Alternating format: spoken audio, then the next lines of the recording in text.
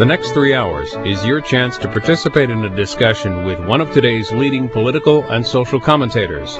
Join us as In Depth welcomes Christopher Hitchens, contributing editor to Vanity Fair magazine and author of several books, including The Missionary Position, Mother Teresa in Theory and Practice, No One Left to Lie to, The Triangulations of William Jefferson Clinton, and The Trial of Henry Kissinger. His latest book is God is Not Great How Religion Poisons Everything. Christopher Hitchens, when people meet you for the first time, what's the first topic they want to talk to you about? Whoa. I think it's, well, at the moment it's certainly um, religion in one form or another. Theocracy, theology, theodicy, as some people like to call it. Um, and that's been true for a while uh, that would be a high chance that we would be on be too grand to say spiritual subjects, but on on the matter of um, whether or not we're here because of a divine plan or because we are evolved creatures. And I think you can tell a lot about somebody once you uh, hear them say that they think they're not here because of biology, they're here because God wants it. Well, this is one of your more recent books, God is Not Great How Religion Poisons Everything. But when you look through your body of work, the 18 books that you've written, religion or atheism uh, kind of permeates. Yes, I mean there was the my attack on Mother Teresa, my review of her um, misspent life. Um, in a way, my little biography of Thomas Jefferson is, is a lot to do with the origins of our First Amendment and the Virginia Statute of, on, on religious freedom. And another recent little book of mine about Thomas Paine and his um, Rights of Man has to discourse a bit on um, his other great work, The Age of Reason, because I think that he, for him, it was most most important of all for people to be free, that they be free of superstition first, that they, they liberate their minds from the what William Blake called the mind-forged manacles, the, the, the, things we rivet on ourselves, particularly um, serve our belief in the supernatural. Was Thomas Paine an atheist? Then? No. He wasn't. Neither was Mr. Jefferson. I think actually Mr. Jefferson may privately have been an atheist, but they um, they professed both deism, which is the view that there may have been a first cause creator. Um, the, the universe seems to testify to some kind of order, rhythm, routine. This is before Einstein and before Darwin, of course. It was as far as you could probably look in, in the 18th century. That this God took no interest in human affairs, didn't answer prayers, didn't intervene in politics or war or anything of that kind. Quite different from being a theist, which advances the view that God has a plan for you and that he has rules that you must obey. In other words, you must claim to know his mind. A nonsensical position. Who is Mrs. Watts, Jean Watts? Mrs. Jean Watts was uh, my, my nature and scripture teacher when I was eight until I was about 12 um, at a little boys' boarding school in Devonshire. I'm one of those lucky ones who was sent off to boarding school at the age of eight. Made a man of me. And um, she was a fine old lady, a widow, um, with very little culture or education, but she could take us on nature walks, show us the beauties of nature. I used to be able to tell all kinds of tree, shrub, flower, plant. And then um, she would teach us scripture as literal truth, more or less. We'd have to go through the Bible. It's compulsory still in England to, to have religious education instruction. And um, one day she overstepped her mark, vaulting ambition of Mrs. Watts, tried to fuse her two roles, and discussing vegetation.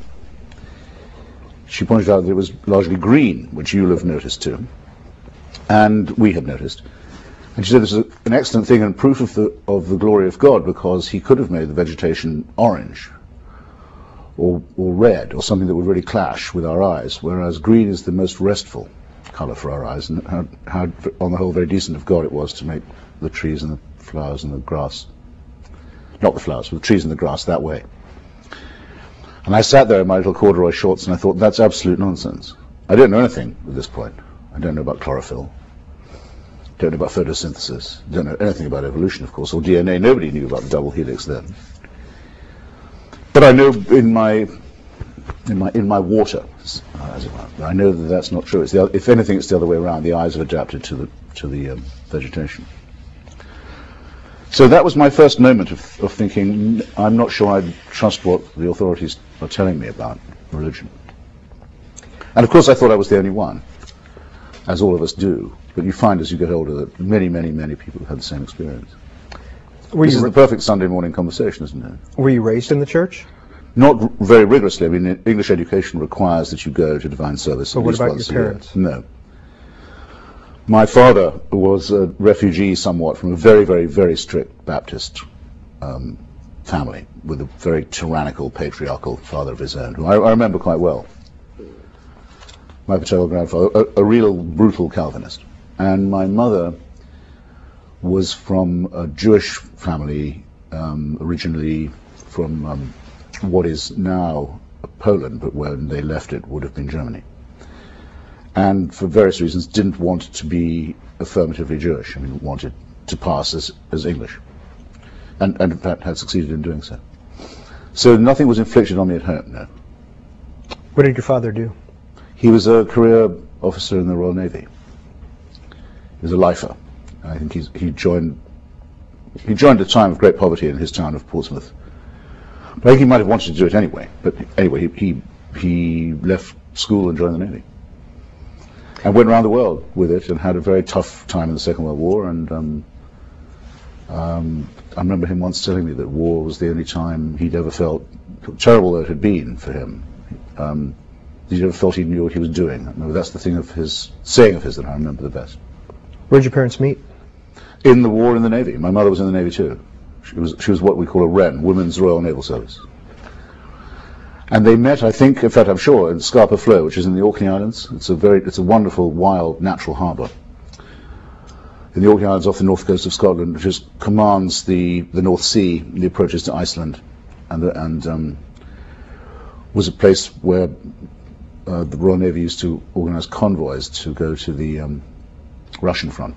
Very, very hazardous business of escorting cargo ships over the hump of Scandinavia to Murmansk and Archangel, uh, where the Nazis controlled the entire coastline and the air.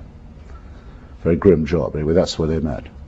And you have one brother? I have one brother. And where is he? He still lives in Oxford, which is, was for a long time our family home, and was where I went to university. And he's a sort of, well, how should I describe it? He's a kind of Rush Limbaugh. No, that wouldn't quite do it. He's better than that, actually. Of England, I, I, he's actually a better writer than he is a broadcaster. He, he's a lot on the air, um, radio and television, as an extreme Christian and an extreme conservative. So I guess there has to be one in every family. Are you close? No. We never were, actually. I mean, we. I think well, for one reason we're not close is we're too close. In other words, we're too close in age. He must be about a year and a half younger than me, not much more. Which is, which is, uh, I've read a lot about this. It is too close. It's not small enough to be a baby brother, and it's too near to be a rival. You know, too close for comfort. We're also not like each other as personalities. He takes very much after my father, and me, I, I would say, more after my mother. We haven't lived in the same town for a very long time anyway. And our differences are not narrow ones. But that's not really the problem, I don't think. It's not that we have different opinions. I have lots of friends who are religious and conservative. Um, it's, um, it's just a, a sibling difference. Good afternoon and welcome to Book TV's In Depth. Our guest this month is Christopher Hitchens, the author of about 18 books, co-author or editor of several more. We're going to put the phone numbers up on the screen if you'd like to participate in our conversation. We're going to be here for the next three hours, noon to 3 Eastern Time. You can also send emails or dial in on one of the numbers divided by uh, regional uh, uh, divided by regional uh, areas today 202-737-0001 if you live in the east or central time zones 202-737-0002 if you live in the mountain or pacific time zones book tv at cspan.org in case you'd like to send an email to christopher hitchens. Every month uh, the first sunday of every month is when we do in depth christopher hitchens uh, of all your books what's your favorite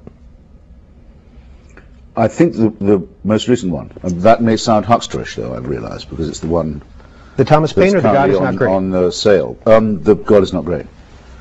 I hope that doesn't sound to catch penny of me. Um, it is my favourite because it's the it, it's the one that underlies all the other efforts I've made, really. I mean, and it's the one I've taken longest to write. It didn't actually take me long to write it as, as it now is, but I didn't start and get ready to start until I'd been thinking about it for many years. The New Testament exceeds the evil of the Old One is Yes. the title of one of your chapters. Yes. Um, that's actually a very easy proposition to prove, I think. In the Old Testament, there's a lot of horror, as everybody knows. Enough horror, actually, that some early Christians thought of founding their religion without the Old Testament. Why don't we just start a new one and leave these terrible old books behind? Marcion, among the early Christian theologians, took that view. But they're stuck with it because they have to say that Jesus fulfilled prophecies from the Old Testament. So they, they have to wrap it around their neck. And as you know, it's full of murder, slaughter, torture, genocide, um, genital mutilation, uh, massacre, cruelty, and so forth. But there's no hell in the Old Testament. There's no talk about punishing the dead. Not in any canonical, accepted New Testament, Old Testament book. There isn't. When when you've been killed and all your people killed with you, and your wives and children sold into slavery, and uh, your land taken, and all of this, um, the jealous God is done with you. You you're not going to suffer anymore. It's not until Jesus says, "Depart from me into eternal fire." that the hideous, really obscene idea that is also uh, adopted very strongly by Islam of torturing the dead forever um, is introduced. So, so the New Testament commonly thought of as meeker and milder than the Old, but it's not. It's much nastier. I want to show some of the other books that Christopher Hitchens has written over the years. This is a long, short war, the postponed liberation of Iraq, uh, a rather short book about Iraq, A pamphlet, really. I Pamphlet? Think, it should be called. the trial of Henry Kissinger. Do people still want to talk about Henry Kissinger? You seem Oh yes, absolutely they do. Yeah, and, and they should, uh, because he's still around, and he still his advice is sometimes sought, we're given to understand by the administration, which, if it's true, in the case of Iraq, might explain something of how badly things were going. And remember, Paul Bremer, the catastrophic uh, first uh, proconsul of, of uh, post-liberation Iraq, was a member of Kissinger Associates, and Kissinger himself wrote in the Washington Post an op-ed piece saying have to be very careful with Iraq because it's a Sunni majority country. That's as much as our great scholarly Secretary of State knew about this rather important uh, state. well. Speaking of No, it goes on. The, the, the, the, malign influence of Henry Kissinger can still be felt all over the place. Speaking of Iraq, um, the C-SPAN book TV bus travels the country, and it goes to book fairs and bookstores. And oftentimes we ask people if they have a question for our guest. One gentleman that we spoke to had a question for you about Iraq. This is from Garden City, Idaho, right outside of Boise.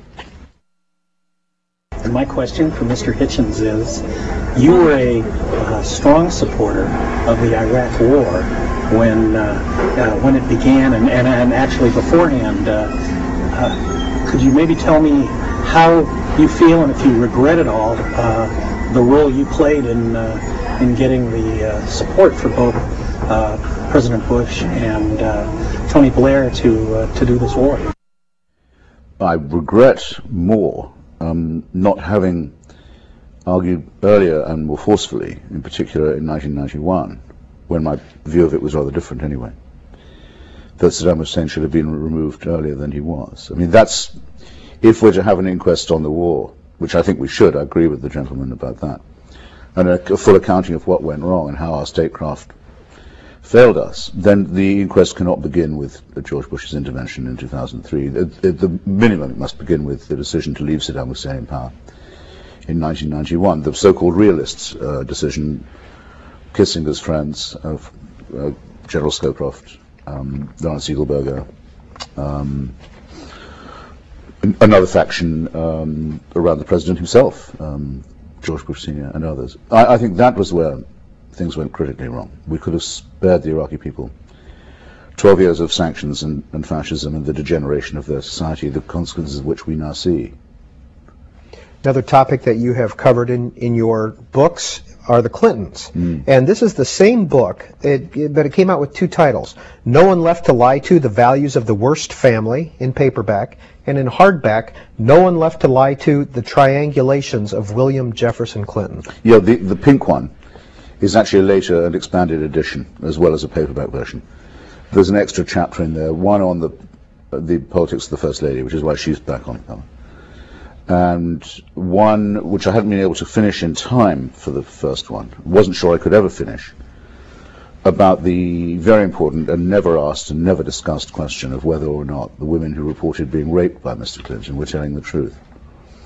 Well, I've, the, the only book you can read that discusses this question even is by me, and I've interviewed, talked to three, so three women who don't know each other's existence. And I would say that I was as sure as can be that they're telling the truth. So that's the difference. That's why you should get the pink one if you're uh, strolling past a bookstore. Our guest is Christopher. More action-packed. Our guest is Christopher Hitchens, and our first call for him comes from Chicago. Yes, please. Thank you. Orwell wrote of thought crimes in 1984, the final movie made by Richard Burton, just as Reagan Bushman rolled out the urine test of the trickle-down economy, grow your own medical marijuana would bring down pharma prices just like hemp oil would bring down petrol prices. Similarly for alcohol, is that why hemp marijuana and alcohol users have been persecuted throughout the 20th century. Too much of anything is bad. Small doses of narcotics have been used throughout history of medicine. Less profitable therapies have been persecuted. All right, caller, what's what what's your point? Well, well I think he's I think he's made it actually. Okay, all right. Though in a rather verbose way. Well, I mean, if he's asking me, do I favor the decriminalization of marijuana, the answer is obviously yes, and not just for medical reasons. Though the most striking thing about mar marijuana is its medical pr properties.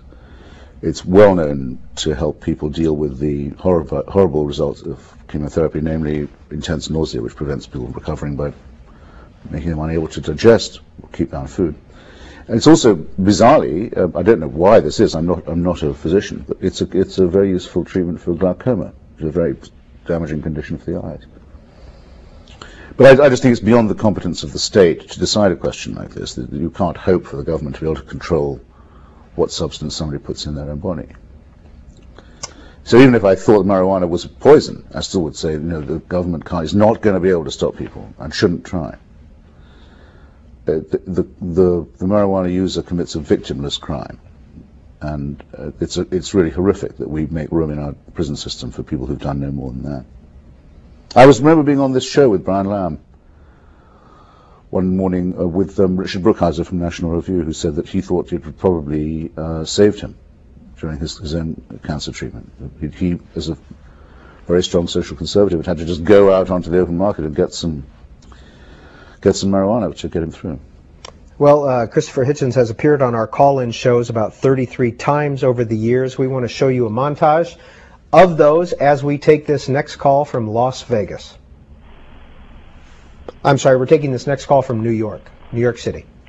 Hello. Hi. Hi. Uh, uh, Mr. Hitchens, in Martin Amis's memoir, Experience, he recounts an episode in which uh, the two of you are driving and you something happens and there's a laughing fit that's so overwhelming you have to pull over and sort of weep with laughter. Mm-hmm. Uh, but he doesn't detail what you guys were laughing at. Do, do, you care to share it at this point? I, no, I, I can't. I, I'd, I'd love to. I can't do that.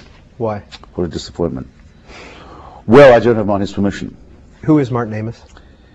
Martin Amis is a very brilliant uh, English novelist and essayist, and um, is the son of Kingsley Amis, who I'm sure a lot of your, your viewers will know or will have read. Also, um, doesn't actually isn't printed enough in the United States, but I think every, almost everyone has heard of Lucky Jim, his great classic comic novel. And Martin is my oldest and dearest friend, and was we've been best man at each other's weddings and godfathers to each other's children, and know everything about each other, and it was. I'm afraid it was one of those things that we were laughing about. And it's. I can't do it on a Sunday morning to a family audience anyway. Well, in 19, 1999, this is what Martin Amis had to say about you. Christopher's always taken up unpopular positions. He likes the battle, the argument, the smell of cordite. Well, I, I don't mind that being said at all. I guess it's probably true. The smell of cordite makes me sound perhaps braver than I am.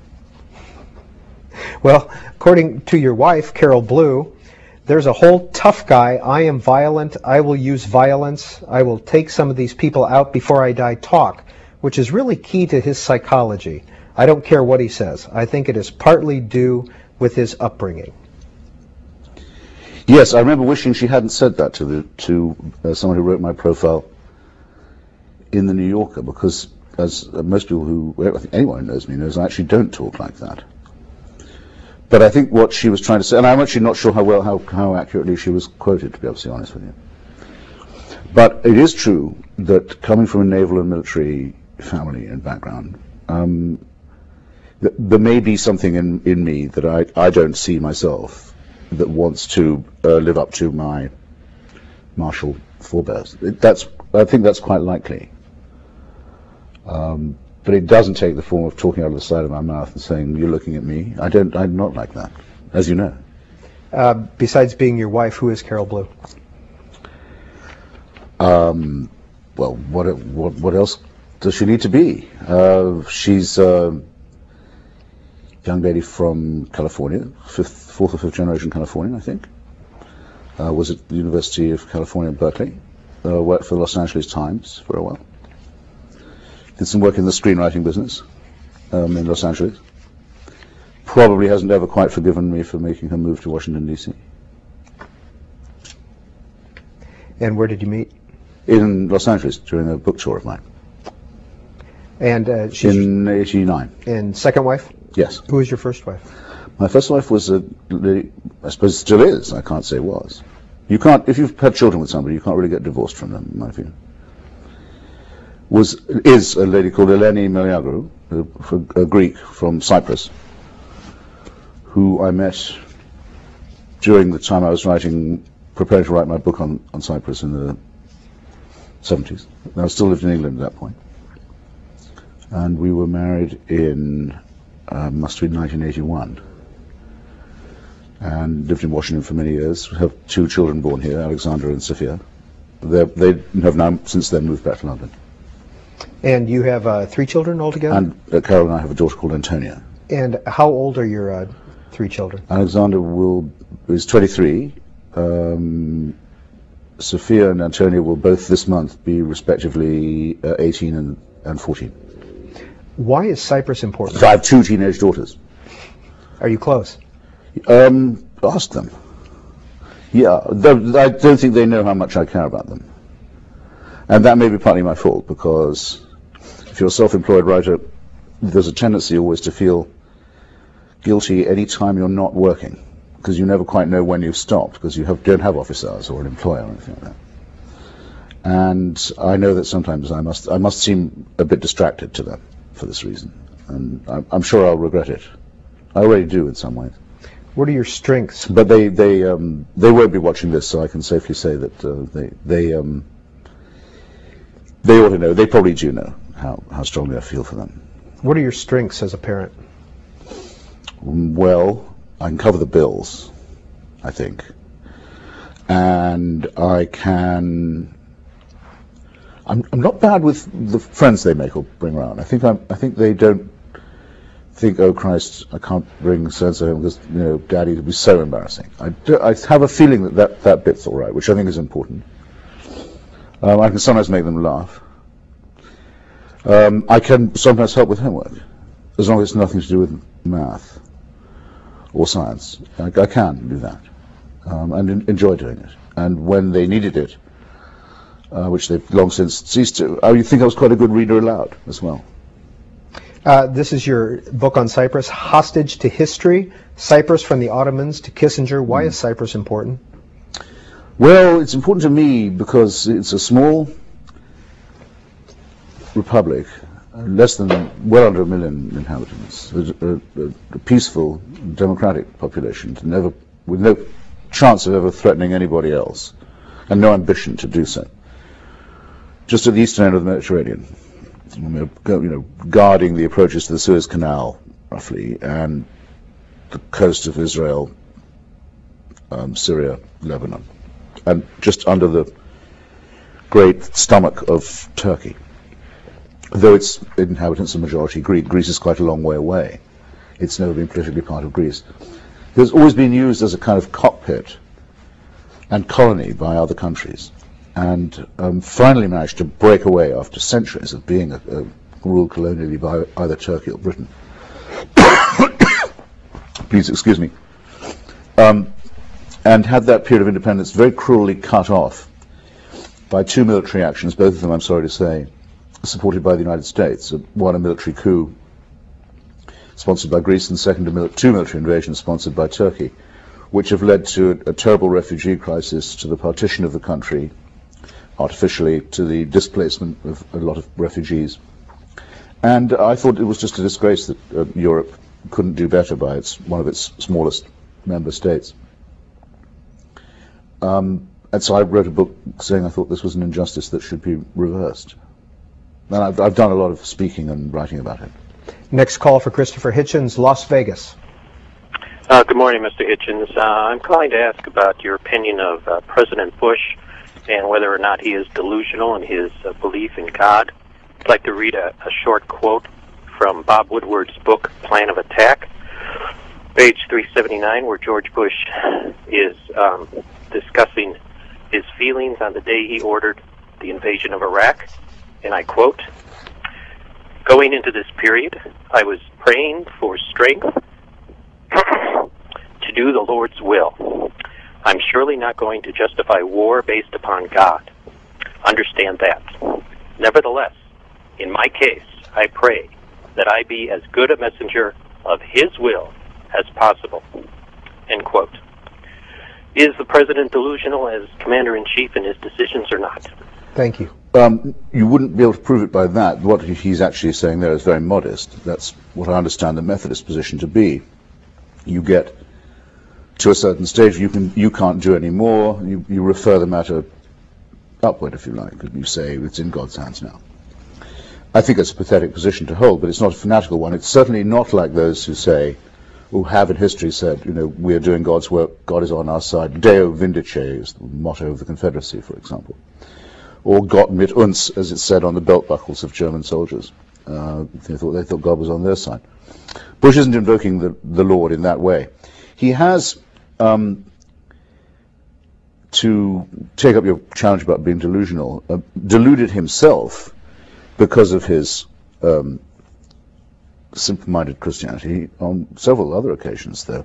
The most notable would be his first meeting with that uh, KGB goon and thug Vladimir Putin, uh, where you may recall the president said, well, I looked into his eyes and I saw he was wearing his grandmother's crucifix, and um, I thought, what a great man this must be, and what a, what a friend I've got.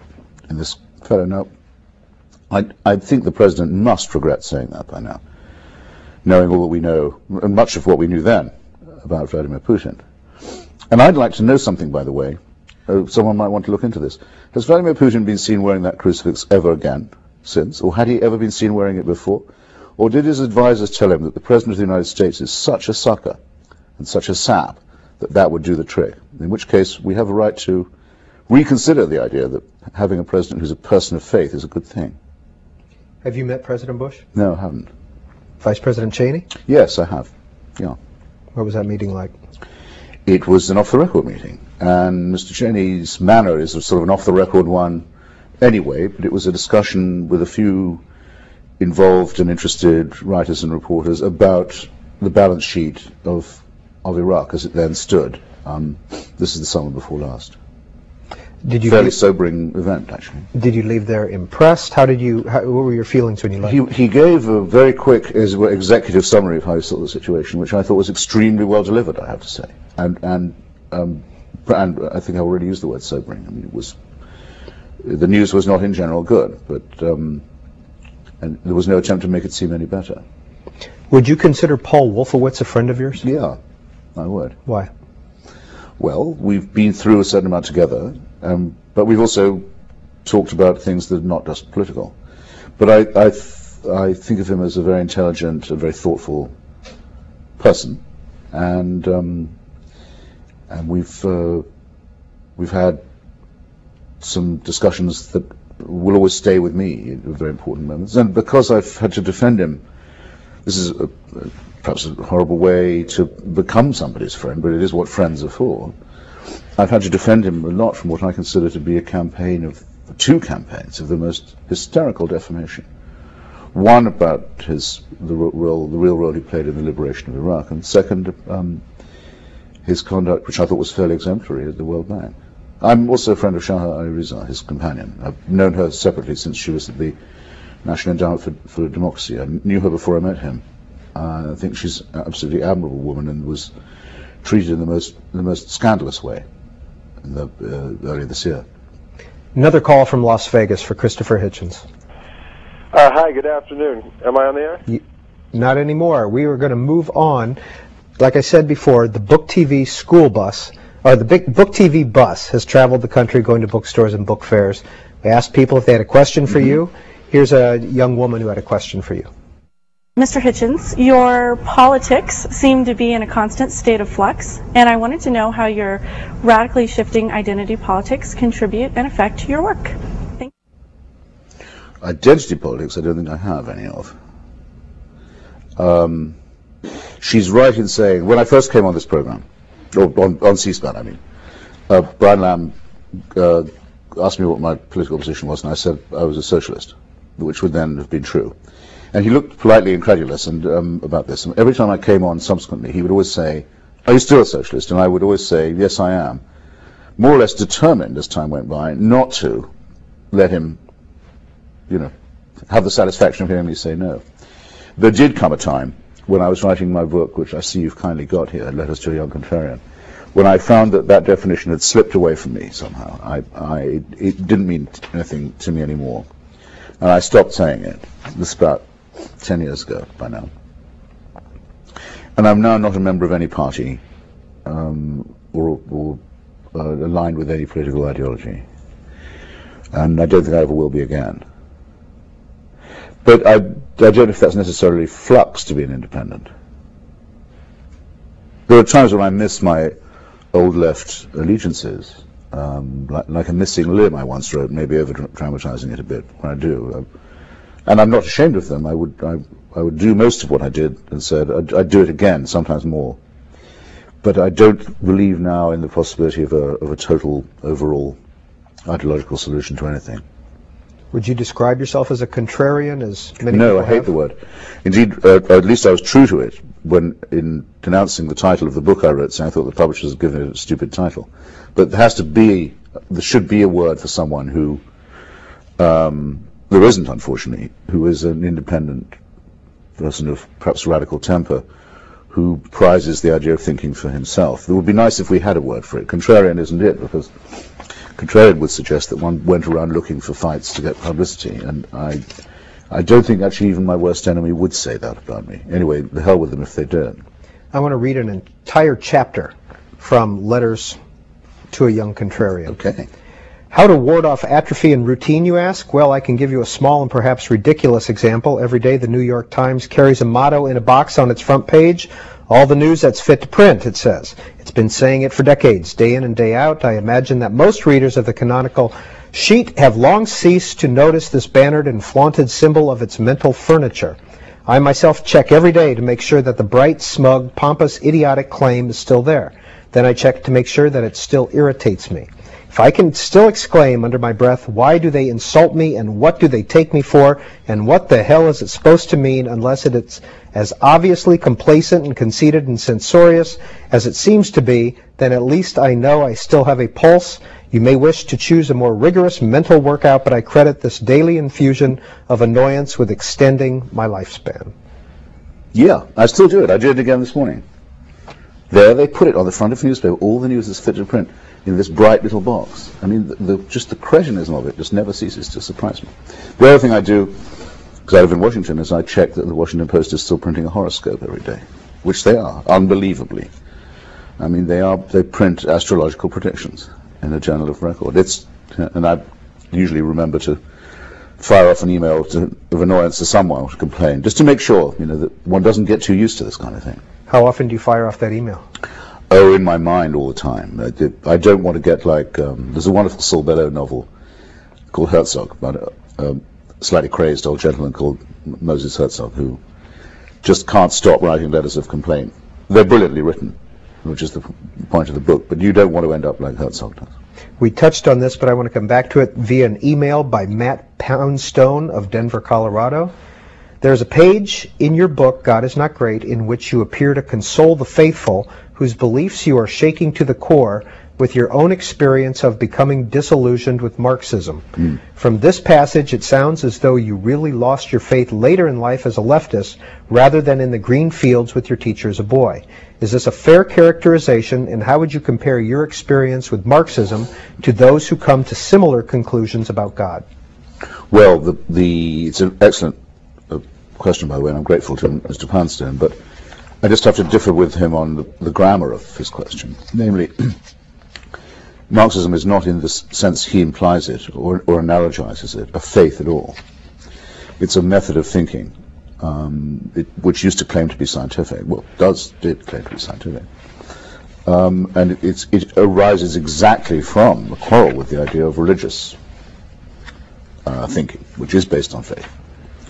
So it, it just isn't to be compared with a religion. Of course, the the communist systems and parties were sometimes compared to churches uh, because of the way they evolved, the, the, the dogmas that they assumed, uh, the witch hunts that they carried out, the heresies that they condemned, the miracles, mainly economic, that they claimed to have created, and so forth. And there's some truth to that. But I did that. I never had any illusion in that to lose. It's just that um, I found in the end that the word the word socialist didn't describe a thinkable future to me anymore. It wasn't a crisis of faith or a dark night of the soul. Honolulu, you're on with Christopher Hitchens. Yes, good morning. It's very, very excited to talk with you this morning.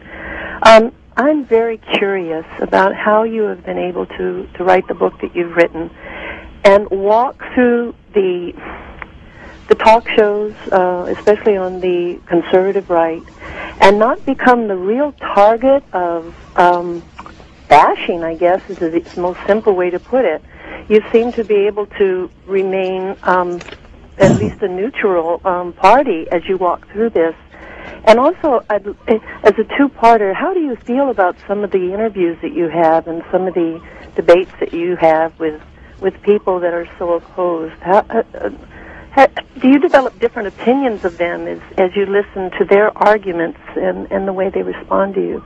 And thank you very much. I, I really enjoy you. Oh, please, thank you. Well, I asked my publisher when we started with the book to um, make the book tour as far as possible go through the southern portion of the country instead of the traditional book tour, which tends to be New York, Chicago, um, San Francisco, Seattle, L.A., and so on, but to take it to the what people think of as the heartland and, and at every spot and at every stop to uh, have a debate, challenge somebody, ask the locals to sort of bring out their best advocate for religion. And in a remarkable number of places, they, they did do that. Um, and we had some extremely strong, and I think often quite amusing and entertaining uh, public events, some of which were broadcast. And I have to say, first, that I was very impressed by the general courtesy of people to be willing to have someone come in their midst and challenge their dearest beliefs um, and reply politely. Uh, Christianity Today, for example, asked me to be on its website for a, an online debate that went on for about eight weeks, uh, which was very hospitable of them. Um, and Hugh Hewitt, um, who is probably the conservative host you have in mind, or was one of them, has had me on for a very, very long time, two hours, perhaps three, with, um, in one case, a, um, a Catholic a teacher at Annapolis, a naval college, um, liter- uh, literary, excuse me, a literature teacher, and in the other case, um, a man in holy orders from the Presbyterian Church in Orange County. So, not bad, really. Um, I hope it doesn't sound churlish having said all that if I say that I didn't encounter one new argument or argument that made me think, I wonder what the answer to that is. That may also sound very complacent to me to say. I don't know if it does. I hope not. As I, I, I do try and look for the weaknesses in my own position, and I, I, I will, if I'm challenged by a new point or a new argument, I will force myself to think about it. Then I realized, of course, well, how could there be any new arguments? I mean, this argument is a very old one. Uh, I shouldn't, there shouldn't be any novelty in it. But if you see what I mean, um, it, it's it's impressive to me anyway to hear people repeating arguments that they very often don't know were discredited centuries uh, past. This is the missionary position, Mother Teresa in Theory and Practice. And this is a recent article from the New York Daily News, Mother Teresa's Shocking Struggle. What was your reaction to her uh, uh, crisis of faith? I've written an article that's in the current Newsweek about it, which if you like to check, or if any, anyone is more curious, um, and it's already up on their website, I believe. Well, I think it's it's actually extremely interesting because it shows um, that for very nearly 50, the last 50 years, last half century of her life, she really couldn't make herself believe in the in the presence of Christ in the Mass, the Eucharist, which is the the central tenet of Catholic faith, almost the sine qua non, and that she felt that when she prayed there was no one listening and there was nothing happening there. Um, my theory is that because this happened just after she got what she wanted, which was to let the church allow her to run her own order. She's a very ambitious woman. The church used to suspect her of ambition and pride and, and overzealousness. It was just after she got permission to start in 48 or so that she had this meltdown. And I think the, the whole life that people think they admire so much, of her endlessly uh, working herself to death, apparently, uh, her tremendously ostentatious austerity, professions of poverty, almost masochistic. All of this turns out to be nothing but an, an attempt to drown out the demons.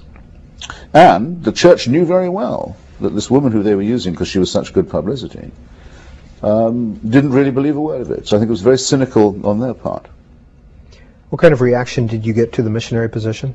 Overwhelmingly positive, to a surprising extent, because a lot of Catholics know that there's a danger of fanaticism um, and excessive zeal, and it's it's the greatest danger the church has ever had to face. And she was a perfect example of it. I'll give you an instance. The church, everybody knows, regards the the unborn child as a real thing, um, as, as a person, so to say, and, and the, abominates abortion. As, as a matter of fact, that's my own view as well. I think the concept unborn child is embryologically correct, and that's that's what it is. Um, and uh, I think abortion is is abhorrent and should be avoided wherever possible. But Mother Teresa, when she got the Nobel Prize for Peace, went to Stockholm. You have to make a speech. You can't just pick up the check. You've got to say something. It has to be about peace. She said, I've discovered the greatest threat to world peace. The greatest threat to world peace is abortion. Now, nobody thinks that. It's impossible to think that. That's a crazy thing to say. It's, a, it's beyond fanatical. The church doesn't demand it of you. People will think, good God, you know, the woman's gone round the bend. Um, that's what I mean. Christopher Hitchens, I want to show you this picture. So then the second thing, I'm oh, sorry, is oh. this. It's very important. People misunderstand it all the time. She was not a friend of the poor. She was a friend of poverty. She liked poverty. She thought it was good for people. She told people to think of it as a gift from God, and she made sure that they stayed poor because she preached against the only thing that can abolish poverty, which is the empowerment of women. Give women some control over their own reproductive cycle, particularly with contraception. Give them uh, a chance to get off the wheel of a husband who forces annual pregnancies on them, many of which are going to die. You do that, you can raise the floor of the poorest village in, in Bolivia or Bangladesh. She spent all her life trying to make sure that could not happen. So a lot of people are much poorer and much sicker and much less well educated um, and much less happy than they would have been if she had never come on the scene. Is that an argument in favor of capitalism? Not on its own, it isn't. Though, because capitalism doesn't always insist on the empowerment of women. But if, if anyone's interested in the alleviation of poverty, um, that's the, that is the only thing we know definitely works, is giving women control over their reproduction. I want to show you this picture, Christopher Hitchens. Uh, this is in the Washington Post style section oh, yeah. yesterday. And it's a woman praying at the uh, memorial for Diana in England. What do you think about that? What's your reaction? well, that's exactly what I say about the the sickly influence of religious cultism. It, it, is that it, it, it leads to um, man-made. Well, I think. Sorry, I'll back up. I think all religious cults are man-made, and they they've created false objects of worship. Um, mythical, legendary ones. When you see it happening in front of your eyes, you can see how it got started. there you see it happening in front of our eyes. We think that's grotesque, I expect most people do. What are you doing? Praying to an image of a basically disco dancing princess. But it's no more absurd than saying that you think Joseph Smith dug up some gold plates in upstate New York that had angelic writing on them, which is one of the front runners for the Republican nomination, claims he believes, or the or the cargo cults of Polynesia, or the belief that um, that after several hundreds of thousands of years of indifference, heaven waited till 2,000 years ago to conduct a human sacrifice in Palestine so that we could be forgiven our sins. I mean, as I say, if you believe this kind of thing, you'll believe anything, and you might as well make a goddess of Princess Diana. Springfield, Illinois, you're on with Christopher Hitchens. Good morning, Peter and Christopher. Morning. Um, you were recently on a book panel where your co-panelist, Jonathan Kirsch, I believe, was rebutting a point you had made. And as he was talking, you interjected, it's immoral to love your enemy. Um, you were not given a chance to elaborate on that, so I'm going to give you that chance now. Thank you. I think I can remember the event you're talking about, and I, I think I think it was in Los Angeles, wasn't it, at the book fair? Yes, I don't I don't like being told, especially at a time like this, that it's my duty to love my enemies. People who want to go and love uh, Bin Laden can do, go do it on their own time. They're not to tell me that I'm um, to do the same, or, and they're certainly not to tell me that that's moral preaching. No, we have to hate our enemies and try and destroy them before they destroy us. That's a responsibility.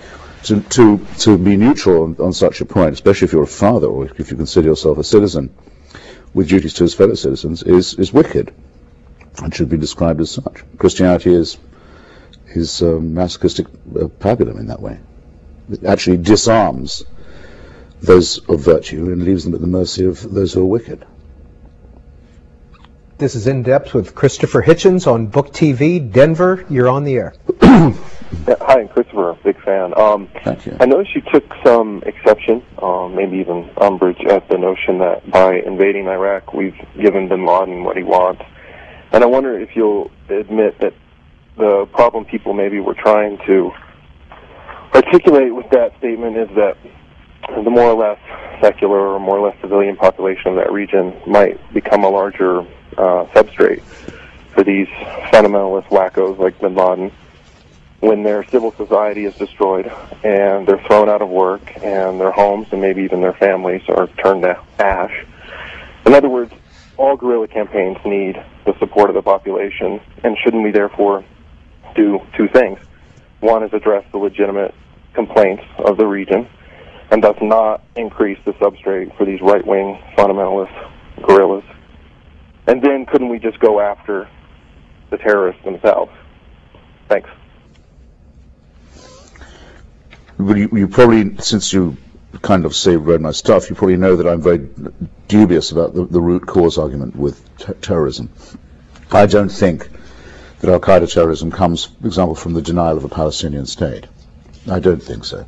You may have noticed that when the Al Qaeda forces, uh, with their Ba'athist allies, blew up the UN office in Baghdad to um, murder the great Sergio Vieira de Mello, the, the wonderful Brazilian human rights envoy who Kofi Annan had sent there. They said they'd done it to revenge themselves for his help in getting East Timor uh, independence from Indonesia. East Timor being the, the Christian, formerly Portuguese island that was invaded and uh, illegally occupied by Muslim Indonesia.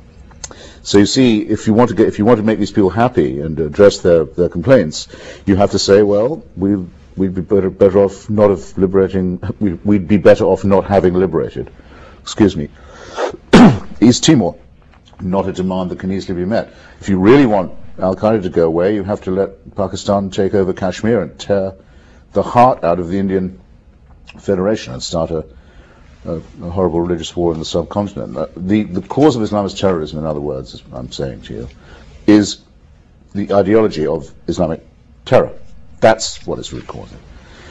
There are things we could perhaps have done uh, to, on the substrate point of yours. I certainly think that keeping Iraq under sanctions for a dozen years, where the Saddam Hussein was able to build a palace for himself in every one of Iraq's provinces, from the skim-offs of that sanctions racket while the rest of the people were drinking sewer water um, did help to create an underclass in Iraq of a kind it they hadn't seen before. It certainly was no help to us or to the secular forces in Iraq when the, when the situation imploded. But you're not to tell me that people blow up the sewer pipes in Iraq so that they can get better drinking water. Or they blow up the oil pipelines because they're out, they're out of a job, because that's one way of ensuring that they remain unemployed. No, the people who do this, the, the, the revolting jihadists who do it, are not the product of unemployment and poverty. They are the cause of unemployment and poverty. And until you get that distinction completely firmly fixed in your mind, you will always flirt with talking nonsense, as you just very slightly did a moment ago, if you don't mind my saying so.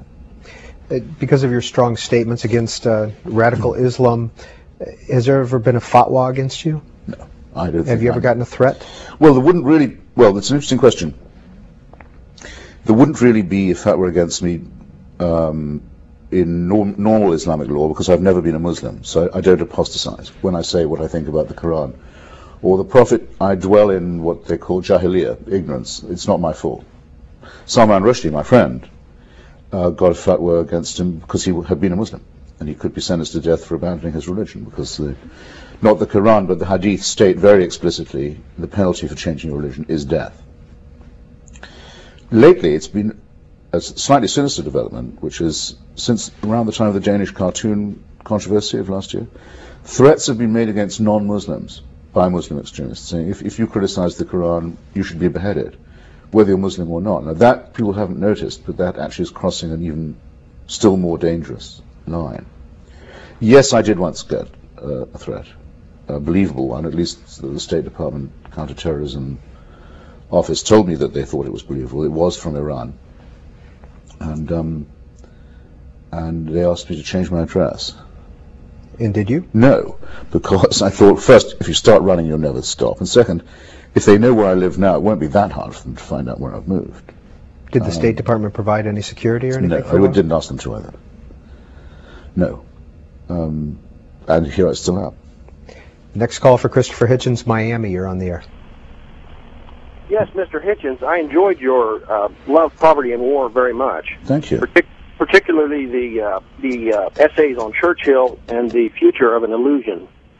My, my question is, we have a situation where perverted priests, confidence men such as Pat Robertson, buffoons like Al Sharpton, all these characters build these enormous financial empires, and yet they aren't subjected to taxation like the rest of us, simply because they claim to be in the service of a, of a higher power. Is this ludicrous situation hmm. an anomaly to us here in the States, or is it common to the rest of the world? And again, I enjoy your, your work very much. Thank you. Well, it's it's um, it's an unintended byproduct of something that does make the United States unique, which is that uh, Congress, as you know, can make no law respecting the establishment of, of a religion. That's the it's the most important part of the most important amendment to the Constitution. In the country where I was born, which you can probably tell is England, uh, there's a state church, of which the Queen herself is the head. The Queen and her, whoever is the monarch is uh, ex officio the head of the church, the head of the state, the head of the armed forces. And uh, your tax dollars have to go to subsidize that, whether you like to or not. The same is true in Germany, France, and elsewhere, not to quite the same extent. In Germany, for example, you have to pay a tithe either to a synagogue or a Catholic or Protestant church. It's very difficult to say you're not going to choose one, but you, you don't have to choose only one, if you follow me. In America, it's a voluntary effort. And that's why it's allowed the status of charity or uh, whatever the tax exempt definition is, which I agree with you should not be permissible for churches that engage in political activity or political advocacy.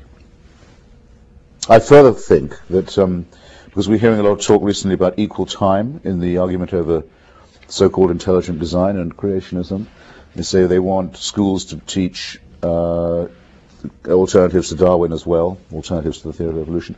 Well, in that case, any church that is getting a tax break from the government, let alone getting any handout from the so-called faith-based initiative, should be obliged to teach Darwin in its Sunday schools and even in its services for equal time and fairness purposes. Don't you think?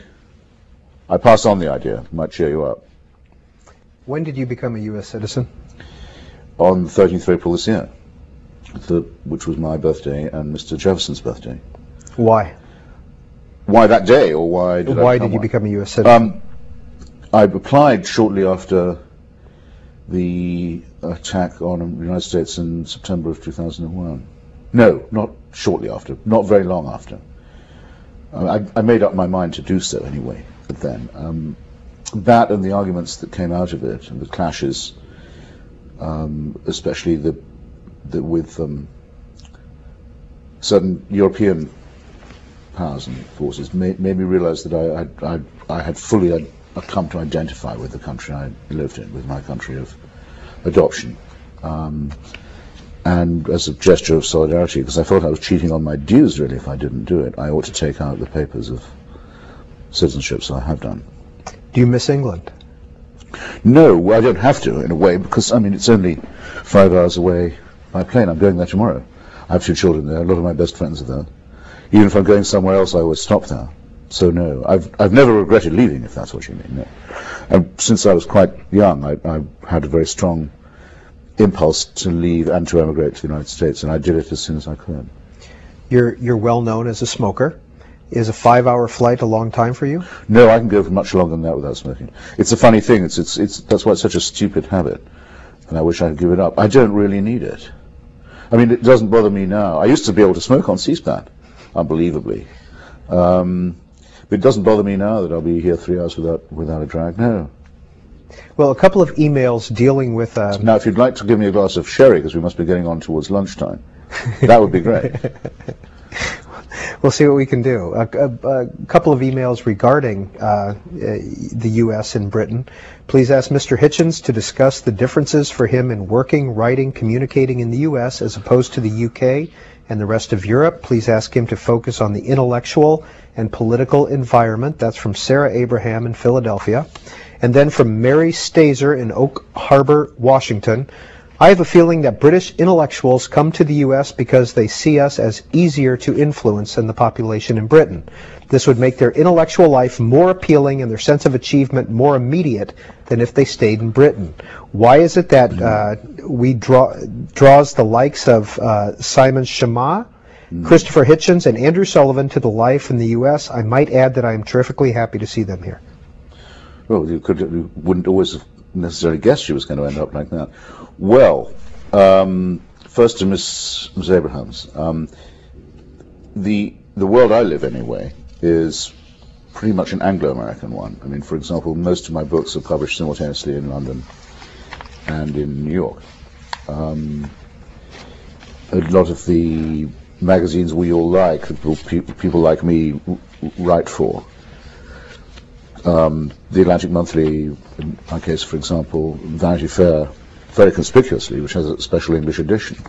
Um, the magazines like the Times Literary Supplement or the New York Review of Books are effectively co-produced by British and American academics and intellectuals. It's it's um,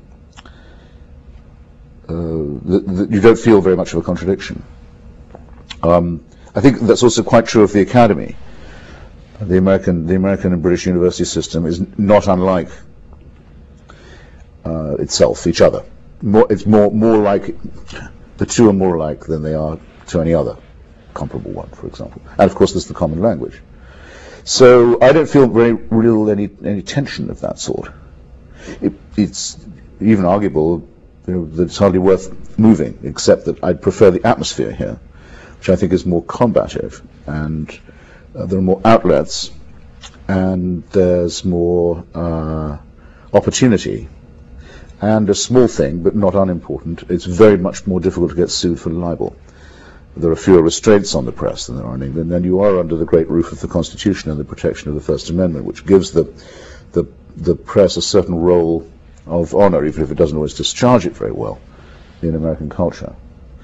I know I wrote a book called Blood, Class and Nostalgia about the um, this is to the second question now, about the vulnerability of America to Anglophilia, which a lot of people have commented on. There's Hollywood Anglophilia, there's a special, there's, I think the music industry continues to suffer some Brit invasions.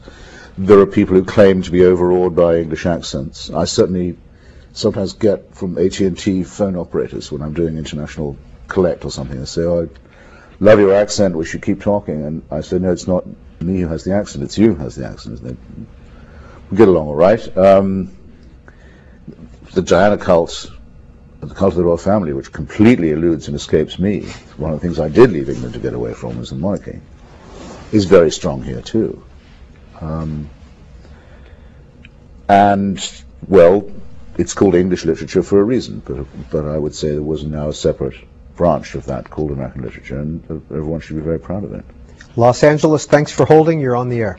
Hi, Mr. Hitchens. Could you talk about the Mearsheimer and Walt book coming out on September 4th about the pro-Israel lobby and how it pushed us to attack Iraq for Israel and now it's doing similar with Iran and also... Thank you, caller. We got the point.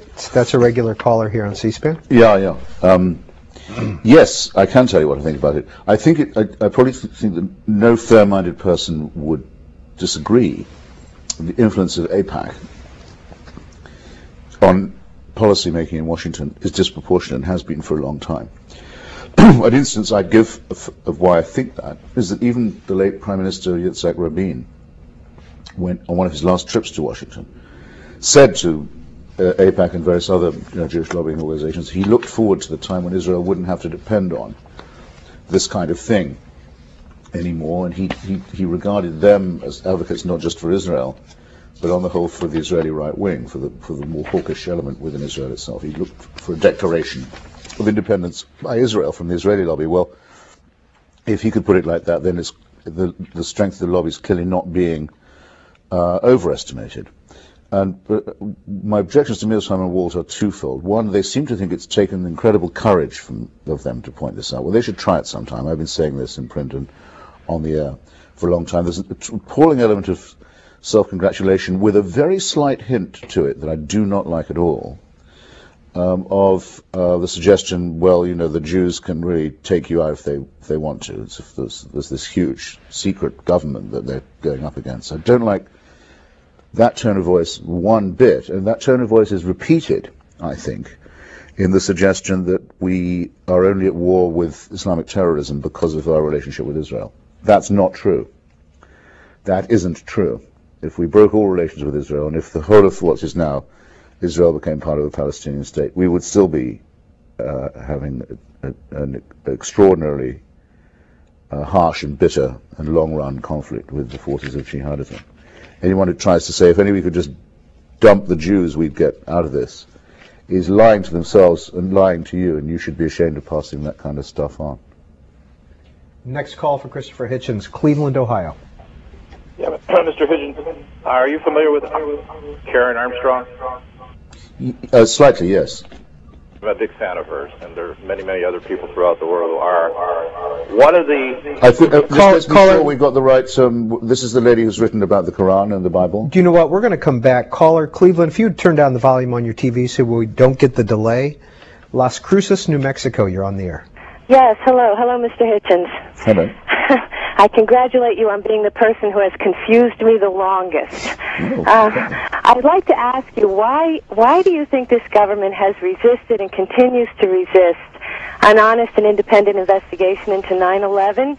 Um, also, what are your thoughts on Machiavelli? And do you consider yourself more of an entertainer than an intellectual, say, on the level of a, a Noam Chomsky? Thank you very much. Caller, what do you think? Uh, what do you mean that 9/11 hasn't been investigated? Well, if if you remember, the, first of all, they weren't going to do an investigation, and then when the the families of 9/11 and and the wives um, pursued it, I believe the first person that they they this government put up was was Henry Kissinger to lead it, and I know Mr. Hitchens has some things to say about Kissinger. Uh, I don't believe, and and almost to a person, everyone I know does not believe there's been an investigation into 9/11, and also I think it's extremely suspect that the what they consider the largest attack on this country, which you could argue. Um, seems to meet with such resistance for an investigation from a government that has nothing to hide about it. Thank you, caller. Well, it actually was some. Yeah, I think it's thanks to me. I'm going. I'm going to claim it anyway. That Henry Kissinger didn't uh, get to do that job, and, and I, bound to agree with. I, I would agree with you someone, a president who says, I'd like Henry Kissinger to chair an inquiry, is saying, I want a cover up. That's, there's only one possible reason that such a disgraced person who's been found to, to have concealed uh, the truth about so many things um, and so many disgraceful things in his life, could even be considered for such a job. Uh, I wrote a piece saying, well, in that case, quite apart from his other unsuitabilities, we'll have to have him disclose all his client list for Kissinger Associates. He can't hide behind the confidentiality agreements of that anymore. And uh, that call got taken up by the New York Times the next day, and within a couple of days he decided he didn't want the great honor of chairing the 9-11 Commission after all. So although it was only a small point, I think it, I did actually pull out the thread that, that uh, un unpicked his uh, appointment to that post. Uh, I'm not myself aware of any, anything uh, that could be or should be known about this uh, that hasn't been discovered. Um, we, we have a rough picture of first the the long, long time when the Al Qaeda forces knew they were at war and we didn't.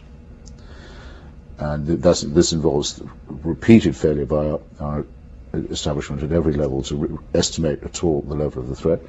And we know of the unbelievable venality and incompetence of our intelligence organizations, most particularly the, the CIA. What's required now is a, is a, a separate commission altogether one that says that our intelligence services are dysfunctional. We, we effectively do not have a central intelligence system anymore. And to my recommendation would be to reopen Senator Moynihan's recommendation that the CIA be closed and padlocked and abolished, and uh, we begin again uh, because it's better to have no intelligence service at all than one that actively works against you. We need to start the whole thing over again. Now you had another question do I consider myself more of an entertainer than an intellectual? Uh, well, I'm more, well, I, I don't know uh, whether, which I'd want to be, but I'm pretty sure what, at, at what I'm um, probably better. And I'm much better at stand-up comedy and telling limericks and doing karaoke than I am at any of the other stuff. I just don't get enough opportunities. According to the New Yorker uh, profile from last year, you have uh, filthy jokes that last 20 minutes. Oh, yeah. Cleveland, you're back on the air. Go ahead with your comment. Yeah, you say you are familiar with Karen Armstrong? Uh, yes. Okay, History of God and other articles, yes. other books. I think what I really appreciate about uh, Karen Armstrong's books is that she's so completely objective when she looks at the history of God or religion. And the bottom line is, I don't think God is the problem. I think man is the problem. And what's so interesting when you read her books and see the parallels of earlier history, earlier religions, earlier men, countries who who combined the two, how all the mistakes and tragedies came about. And bottom line, what she says and other interpretations of her writings are, is basically it's still the good old golden rule. And I think when you take an attitude that you take, which is so negative, you you keep in, encouraging this us against them again, and it's not that. God is good. It depends on how you're going to, as long as you use them for good and not for bad.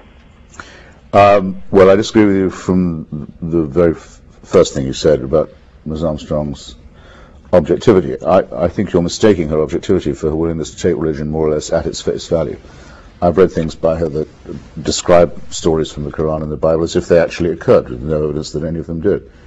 Um, you, you, you improve your argument when you say that the problem is man, because after all, God is a man-made invention. Um, but that's then you contradict yourself by saying God is not bad in himself. he could be good, as good, uh, as easily good as bad, but he can't if he doesn't exist and if he's a human creation and a, a man-made object of veneration. All I'm arguing is that we'd be better off without this construct.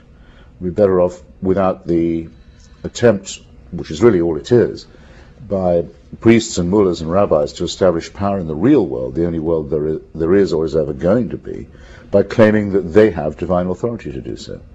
We have to challenge that politically, by being opposed to uh, theocracy and superstition and indoctrination. But we also have to challenge it root and branch by saying that the, the, the authority that it invokes is non-existent.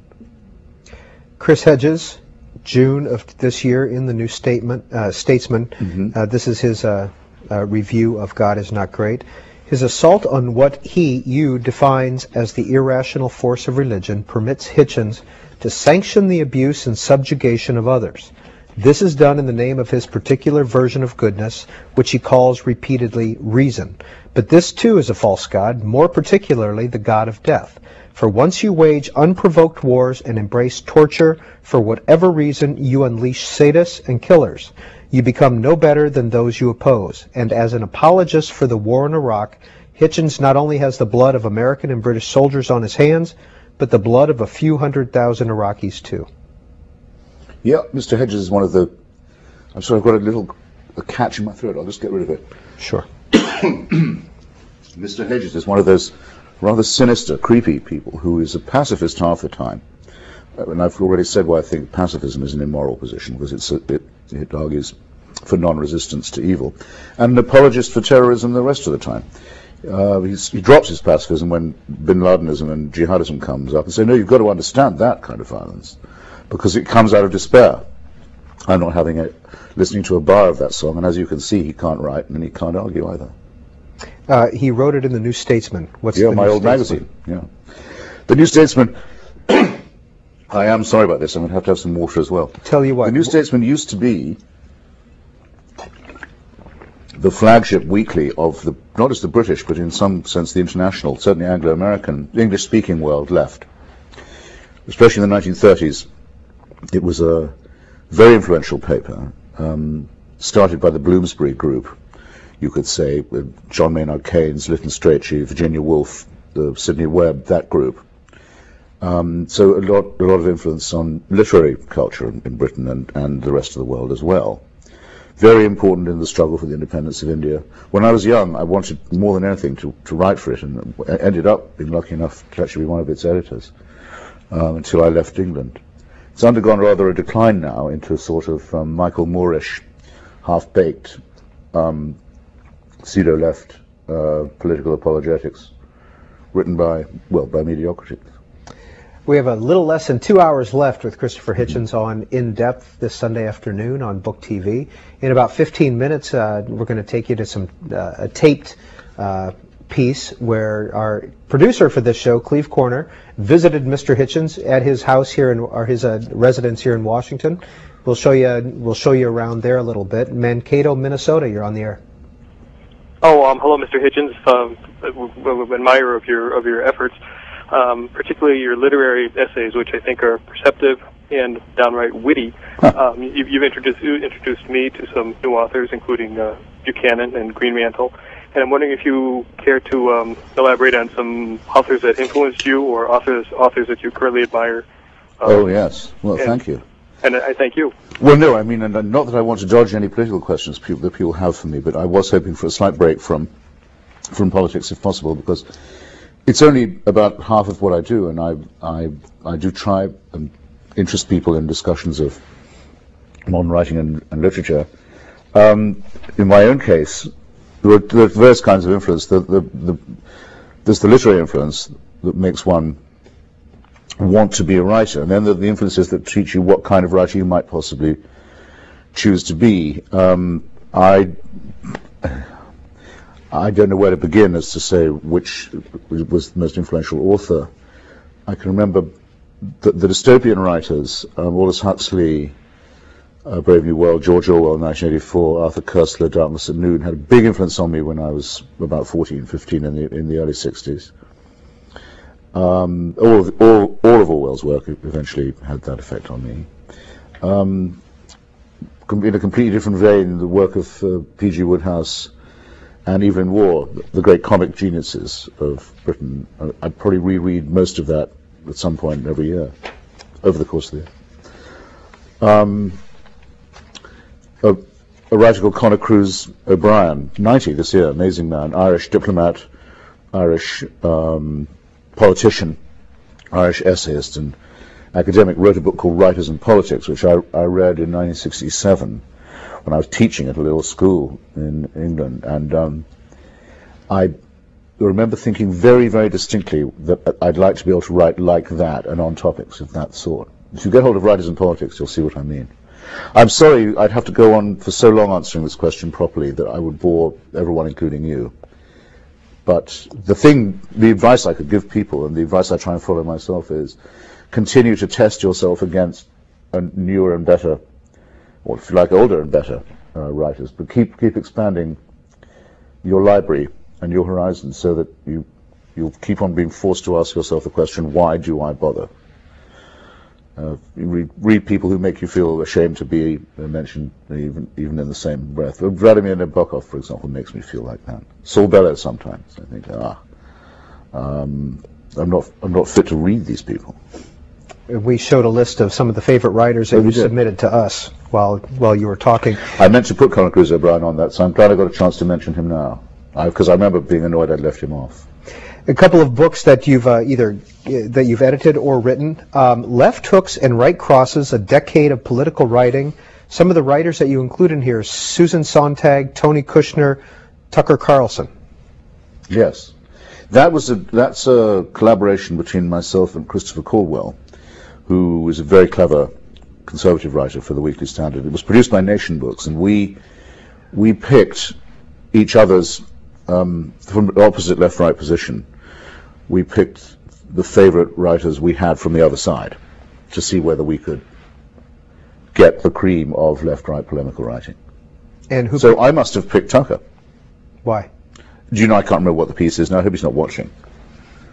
It's although all this is pre 9/11 and seems like so long ago to me. I'm I hope Tucker will forgive if I say I don't remember which piece we picked from him. And another book I want to. But I do remember telling Tucker I wish he wouldn't give up writing for TV. And I hope I hope he sometimes hears the, the distant hollow echo of my voice. Tucker, don't do that. Don't do it. Another book, 2001, published, Unacknowledged Legislation, Writers in the Public Sphere. Yes, I'm very proud of that one.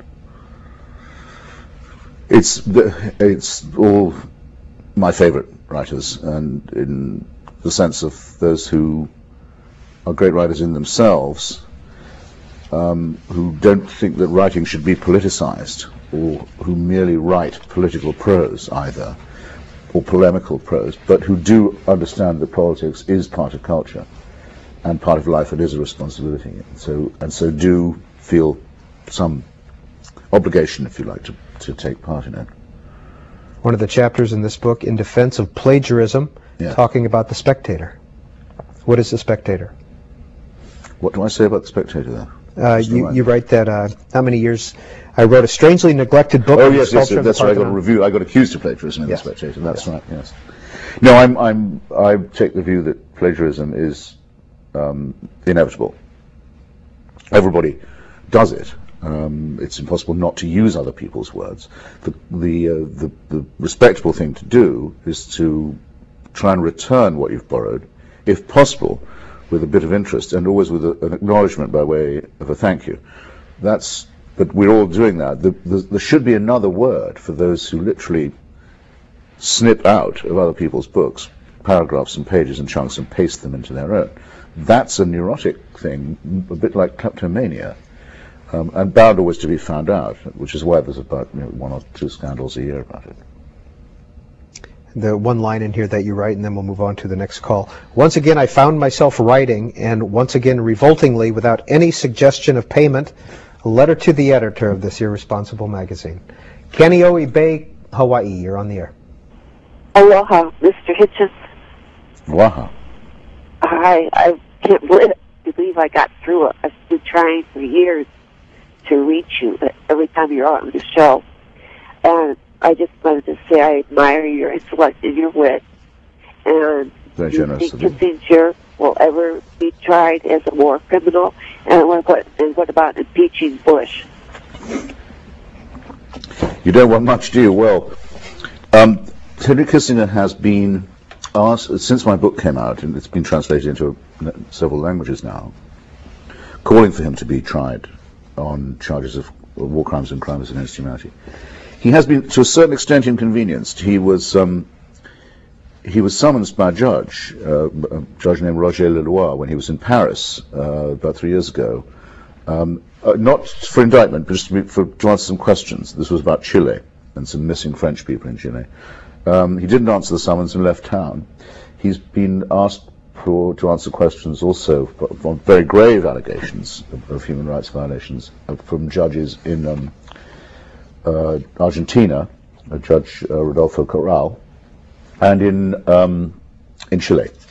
Um and there are other countries too where I know he wouldn't care to travel without a, a lawyer going with him at least. And a couple of countries, I think he quite definitely decided he's not going to try and travel to at all.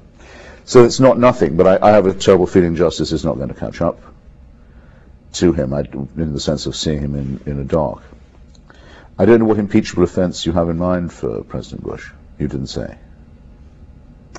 Uh, she also said that she's been trying to reach you for years. According to everything written and according to being on 33 call-in shows, uh, you're quite accessible yes. to people, and you you do lectures. Why do you do I'm that? In, I'm in the phone book as well. I'm in the phone book. Um, in Washington, D.C., i must be the only Christopher Hitchens who is.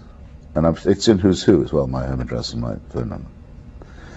Well, I think if you spend as much time as I do inflicting yourself on the public, then you are obliged to be where where they can get back to you if they want. Furthermore, very often people don't just want to give you an earful of their own opinions or their own criticism, but they want to tell you, look, there's this book that I've come across that you might like, or there's this story I read in a local paper that might have got missed, might have escaped your attention. Would you be interested? I, I get quite a lot of that too, as well as you know some of, a few obscenities and the occasional threat. Um, and the odd crackpot, but it, uh, on the whole, I, I enjoy my mailbag and my email bag and my uh, voicemail bag too. Next call for Christopher Hitchens, Erie, Pennsylvania. Hi, good afternoon, gentlemen. Um, I have a question. Uh, while I agree with Mr. Hitchens that um, certain religions have um, misused um, the interpretation of what God wants, and they kill and they behead, um, I'm wondering, doesn't he think that there are certain um, parts of all faiths that have good uh, secular um, responsibilities to keep order in the society? For instance, marriage.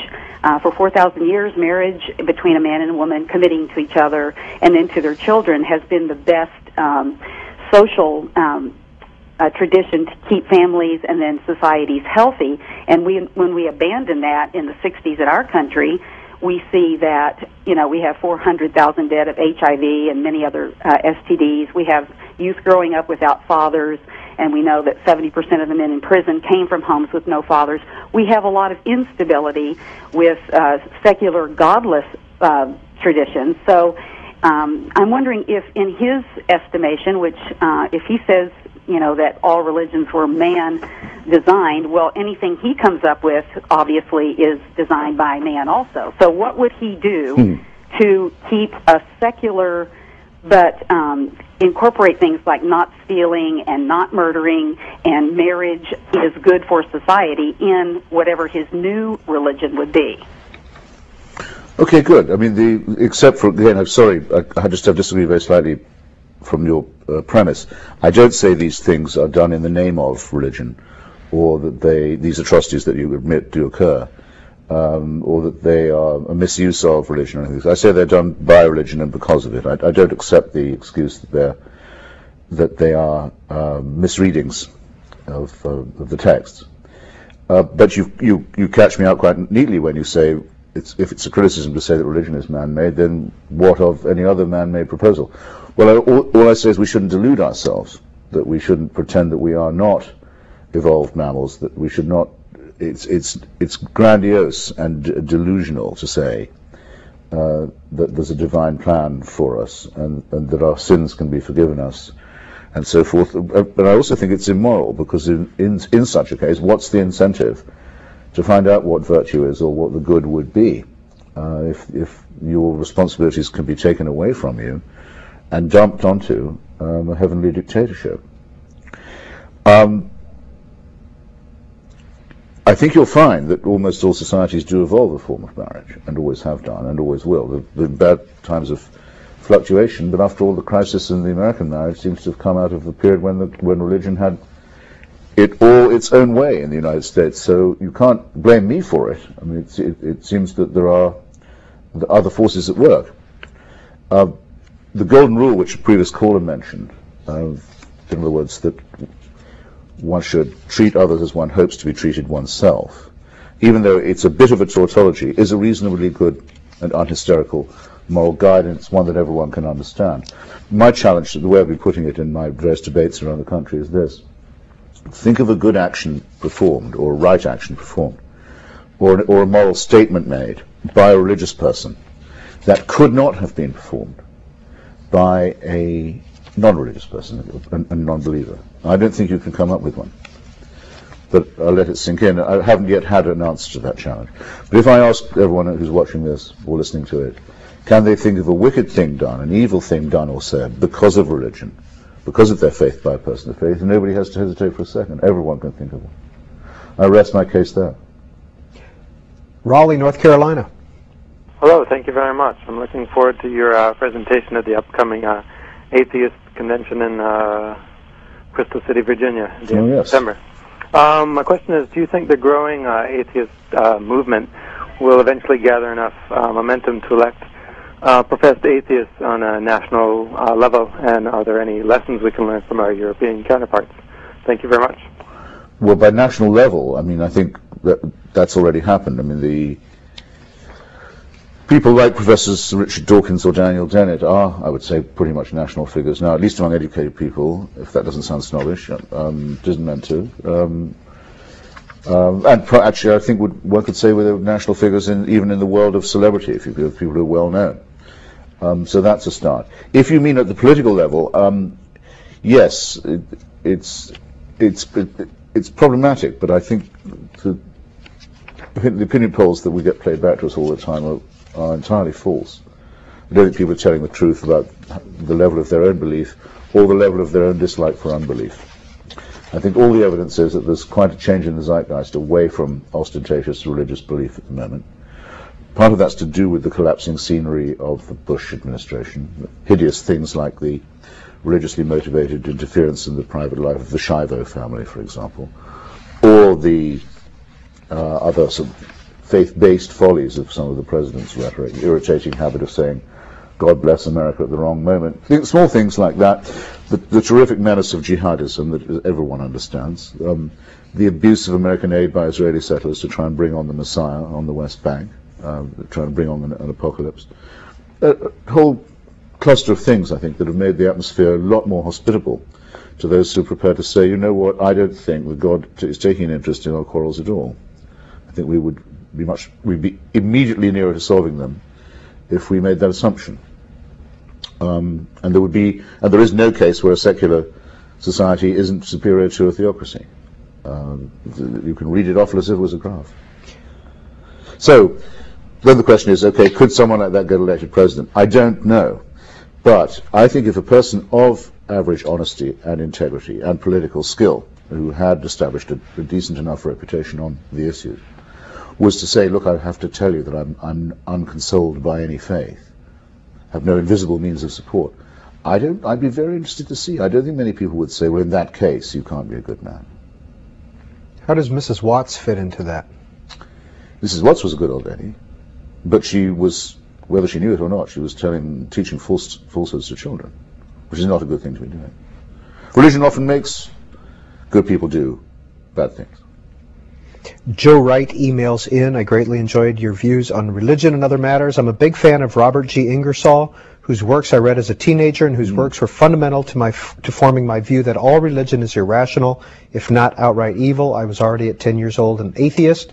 What influence, if any, did Ingersoll and the great British free thinkers, Chapman Cohen, for example, have on you?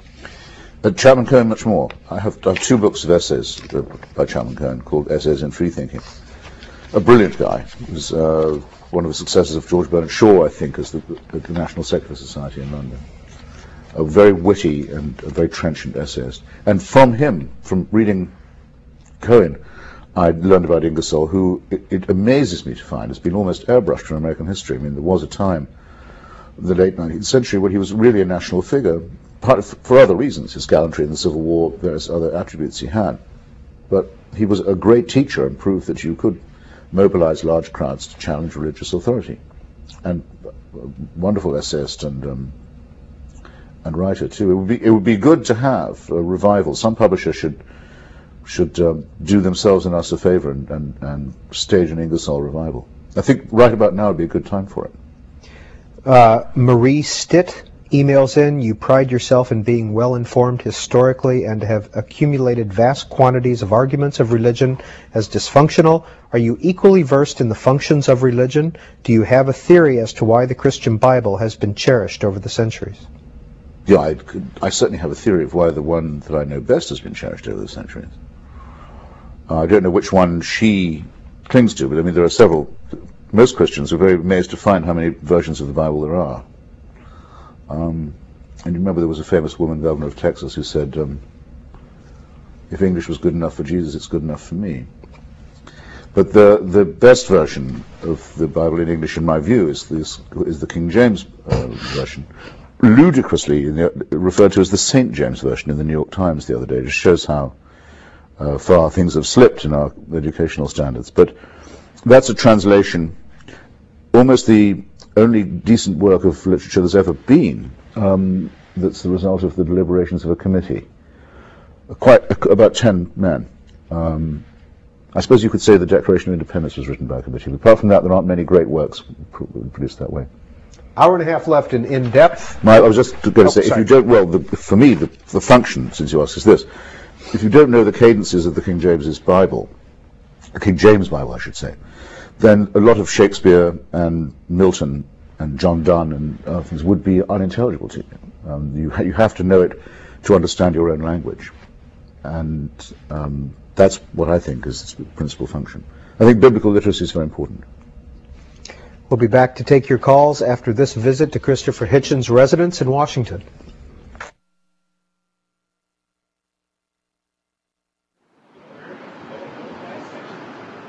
This um, building is almost exactly 100 years old. It's 101 years old now. A very fine old building called the Wyoming, from the great days of the fin de siècle gentleman's apartment building in, in Washington. And this apartment, which wraps around the whole of the top floor, was originally built with this wonderful flooring that you can see, this wooden floor which means it's almost like an ice rink. That's why I don't have any furniture, because I like sort of just rolling around it. Um, by the by the architect of the building himself for his own occupation. And I think that the great distinction of this apartment while I've been in it was that it was used by Clint Eastwood to film Absolute Power. Actually, one of his less good movies. It, it's about an art thief in Washington, D.C. who needs a safe house. And the presidential motorcade goes up Connecticut Avenue. We often hear it uh, somewhere central. And uh, came back, having lent the apartment to the movie makers, to find that all these walls were covered with uh, knockoff paintings of the treasures of the National Gallery that the Clint Eastwood character had stolen. And I was really hoping that the producer would let me keep them, but he had to take them all away. My hood could be described, and maybe a realtor would want to describe it as Kalorama because it sounds pricier, but actually I think Kalorama is the other side of Connecticut Avenue. It's what we call Embassy Row. Diplomatic buildings, residences, woods, gardens, very beautiful, pretty costly. Then if you break to the right out of my front door and go along Columbia Road, you come to Adams Morgan, sometimes called Madam's Organ, to indicate that it's our sort of Bohemia, our Latin Quarter, our little West Village, if you want. So, diplomacy on one side, um, Guatemalan music, um, Ethiopian restaurants, etc. on the other side, and then down Connecticut Avenue, straight to DuPont Circle, bookstores, cafes, restaurants, perhaps three Starbucks. So what you're seeing behind me is a sort of confluence of, of Washington, D.C., our nation's great capital. That's Connecticut Avenue, this north-south artery that runs, in effect, from the White House up to Maryland, crosses Massachusetts Avenue a bit lower down at DuPont Circle. That's the sort of radial axis of the city, you might say. Due west there is California Street, and this is Columbia Road curving round to uh, Adams Morgan district. There's the Russian trade mission. Um, I'm told that there is still a, an apartment in this building run by the National Security Agency to monitor the goings on there from the days of the old uh, Soviet Union. You probably can't see it behind me, but um, on the horizon is the Russian compound. And those domes you see in the woods are the um, Naval Observatory buildings, on the grounds of which, of course, lives the Vice President. And then you see the British Embassy just in front of that. which is the extreme west end of Massachusetts Avenue, Embassy Row. So it's, uh, it's a, a good reminder of the small size and centrality of District of Columbia. And then there in the middle, on his horse, is General McClellan, uh, President Lincoln's worst general, the man from, from whom he at one point asked to borrow the army, since the general appeared to have no use for it, and probably was a defeatist. He, he certainly ran against Lincoln later as a, a pro-slavery Democrat, may have had secret sympathies with the other side. It makes me laugh anyway because on his horse he's still pointing south in the wrong direction. The Confederates would have been that way. He's riding away from them. Um, ah, a little reminder of, of, uh, of our history. A typical writing day for me depends on how atypical the previous day was, in that I tend to work late at night, and if it's been successful, I may not have gone to bed till three. So the next writing day will probably not start till, say, noon or so on. But if, it, if you absolutely had to average a day, it would be like this. Um, get up, try and inhale some coffee, forcing myself to eat oatmeal for cholesterol purposes or anti-cholesterol purposes, blah, blah. Before lunchtime, I wouldn't get much done except answering emails um, and fending off whatever had you know, accumulated. Um, the world of telegrams and anger, as E.M. Forster puts it, just coping with that, and then having lunch, which I usually do reading by myself, because I think the essential thing for being a writer is being a good reader. The main thing, as I keep saying, never tire of saying, is is to keep testing yourself against other writers who are better than you. That's what qualifies one as a writer, I think, is permanently running the risk of having to say, I don't know why I bother. I think there are certain authors of whom one should have, you know, all all their books, even if you can go and borrow them from the library. Um, so I, I know I have in this in this apartment every single word George Orwell ever wrote, for example, including his expenses reports to the BBC, the lot. Everything that's ever been published by him, anyway. Um, most of uh, Marcel Proust, um, most of James Joyce, not all of P.G. Wodehouse, because actually I have to say that there, there, are some books of his that aren't that worth keeping. It seems almost blasphemous to say that, but I do. But the cream of Wodehouse, like, well, Evelyn Waugh, um, Karl Marx, Leon Trotsky, um, Nabokov. It's a bit eclectic, as you see. Salman Rushdie, Martin and Kingsley Amis, Ian McEwan. I have pretty much all of what they've written. I would, I like to think that I have a life rather than a job or than a career. And it's all to do with reading and writing. The only two things I was ever any good at, and public speaking, which I can also do. And that's how I make my living. But it's it's also what I am, who I am, what I love, um, and fortunate at that because there's nothing else I can do. It's not as if I could have been a lawyer or a doctor and I chose this. It chose me.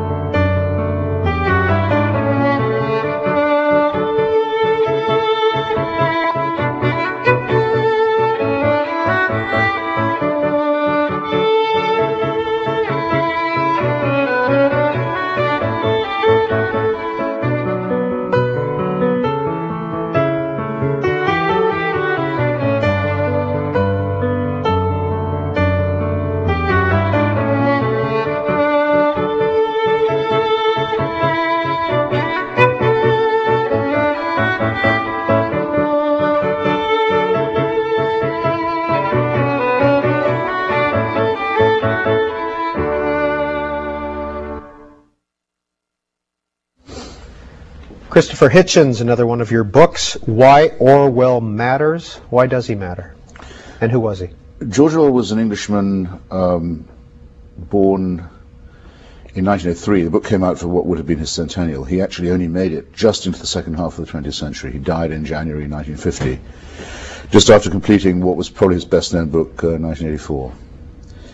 Um, what, what else was he? He was uh, born into the sort of upper middle class, but not with any money or capital. His father had been in the opium business in between British India and British China. He was, in a sense, an imperial drug dealer. Um, Orwell briefly worked for the empire as a policeman in Burma before deciding that he found imperialism disgraceful. Um, and from then on, identified basically with the victims of the British system. You know, became for a while a, a tramp um, an odd job, low page menial worker, low wage menial worker, excuse me. Um, when fascism came, he went to Spain and volunteered to fight in defense of the Spanish Republic. Uh, got involved with a leftist militia that was opposed to the Communist Party in Barcelona. Got shot in the throat by the fascists. Very nearly got shot in the back by the communists and wrote a wonderful book called Homage to Catalonia, uh, the best book written about the Spanish Civil War out of these experiences, the reason I say he's important, why he matters, is that of all the writers of the 20th century, when the the, the big three issues of that century were fascism, communism, and imperialism, Orwell was the only one to have analyzed all three of them correctly, in effect. And that would be my view. With no more resources than the, a person of average integrity and intellectual honesty can bring to bear. He never had a steady job, he never had a steady publisher or a proper uh, outlet. Often his books were banned or suppressed, or his articles were not, went unpublished. So he's he's my exemplary case of, of how much a single individual with, with a bit of nerve and a bit of literary ability can can do in a very short life. 46. If, if he were alive today, who would he be writing for? It's impossible. I have played that game, and you can up to a certain point, and people do because of his reputation for integrity and and prescience. A lot of people want to invoke him and have him on their side.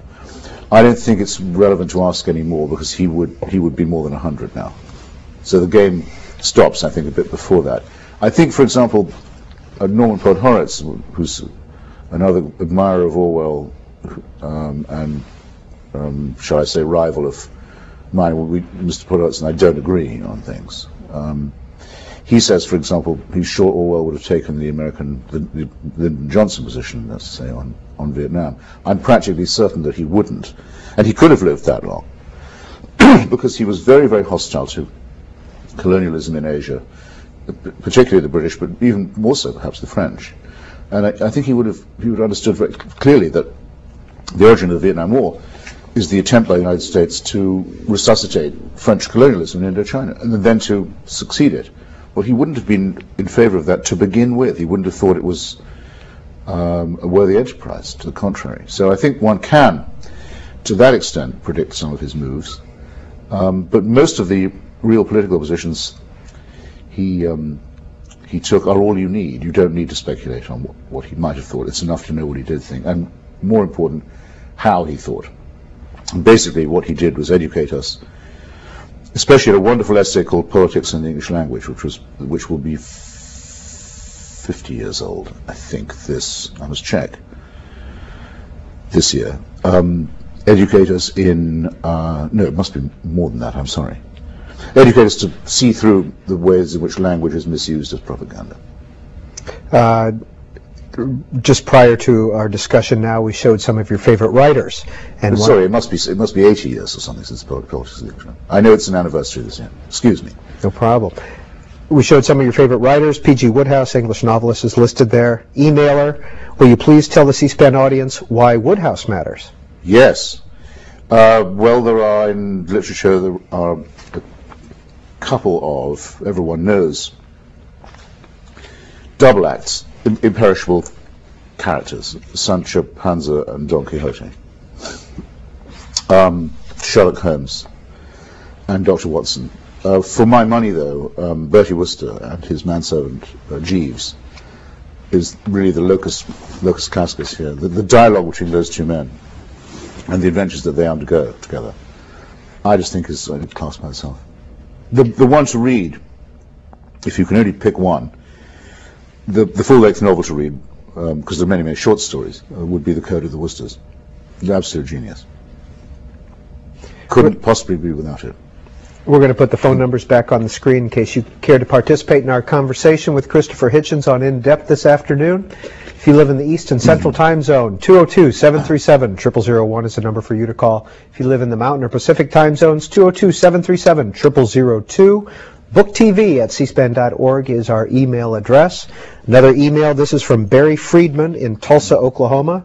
I have this running debate with my in-laws, good Republicans all, over whether your hatred for the Clintons is greater than your disdain for Bush? Huh. Well, it's not really hatred for the Clintons. It's, I'd prefer to say contempt for them. That's the, I mean, there was a, a, fashion at the time for what was called Clinton hating, often took a rather paranoid form. I didn't regard myself as part of that. It was contemporary. And for, for the president, um, I'm, I'm, not quite sure what the word would be. Because you see, on, on I'm a single issue voter, and on the, on the main point, which is the incompatibility between us and any totalitarian or terrorist system or state, I think he's essentially right. I mean, I think he, he feels that that has to be fought. I don't think he's particularly good at doing it, but that's a second order question for me.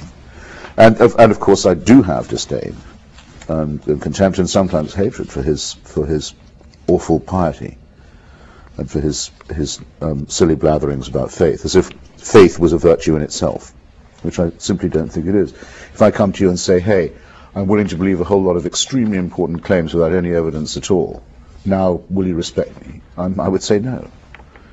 I would expect the answer no if I was saying it myself. Next call for Christopher Hitchens, St. Louis. You're on the air. Hi there. Good afternoon.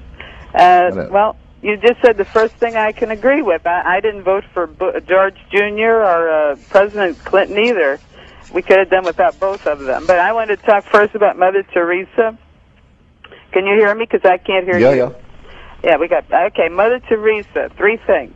First of all, she made felt God's presence in her life for a long time. You know, that's between her and God as far as I'm concerned. But she was inspired by God uh, to begin her mission to the sick of Calcutta, and she never denied that it was God that it, her, inspired her. Uh, secondly, um, the fact that, that we sell these high tech weapons and financially have supported leaders like Hussein and the royal family of uh, Saudi Arabia, you know, to keep the oil flowing in these from these countries. Uh, while they were having anything but democracies, that that is why these people hate us. Why don't people say the truth about why they hate us?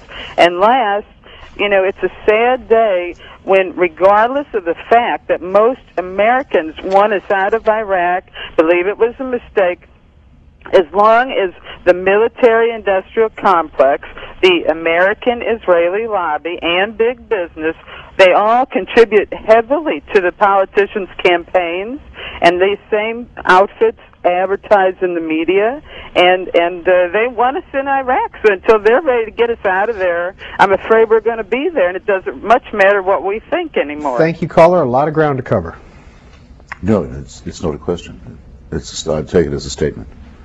Now we know what she thinks. We also know how she thinks. Uh, George Sim Johnston in the National Review said this about the missionary position. Mr. Hitchens is made uneasy by the thought that somebody somewhere is doing a good deed motivated by personal charity rather than statist ideology. Mother Teresa's Roman Catholicism also bothers him because it's obscurantist and retrograde, unlike, say, Marxism in the 1990s. Well, you see, he's got me wrong twice because I don't say that she was doing a good deed for the wrong reasons. I, I don't think her work in Calcutta was good. She raised an enormous amount of money around the world from people like he, who naively thought that the money was going to give breakfast to starving children or medicine to people in need. And she used all the money to build up, this uh, on her own confession, on her own admission, convents in her own name. That's where most of the money went. She had a hospice for the dying where a few nuns not trained in medicine of any kind were found occasionally with uh, the odd syringe, which they were washing in cold water. It was a place purely for death, a house of death, and based on a cult of death too. As I've told you before, she preached poverty was a good thing. She did her best to uh, to make sure there was a lot of it by arguing that women shouldn't be allowed to have contraception, shouldn't be allowed to be divorced from abusive husbands. Um, she preached the most fanatical form of Catholicism, uh, a much more dogmatic one than the Church itself professes. And as I've just said, or said in reply to an earlier question, this fanaticism seems to have been an attempt to overcompensate for the fact that she couldn't, in, in private, believe any of the central postulates of the religion. So really, it's a pretty shabby career, and I, I, it's not my problem, of course. But if I were a religious person, um, I wouldn't um, choose her as the exemplary figure of my faith, because it's too easy, and anyone who can read my book can find out how easy it is to show that none of the things popularly believed about her are true, whereas a lot of very unpleasant facts that have never been denied, her taking of money, for example, from the um, Duvalier family dictatorship in Haiti, where I think everyone would agree the poor of the world had one of the worst deals they've ever had. Stolen money, in effect. Um, her shabby dealings with Charles Keating of the Lincoln Savings and Loan. Um, her refusal to return stolen money from him, even when the courts in America asked for it back, or again on behalf of the poor from whom it had been robbed. All of this is all true and can be proved. Um, the people who say she was she did all this the, because she felt she had a light from Jesus and so on are saying what they cannot prove, and is very probably in any case not true. What do you think uh, uh, that reviewer meant about Marxism? Why do you think he brought? Oh, I that think that's that? a dig at your humble servant. Why?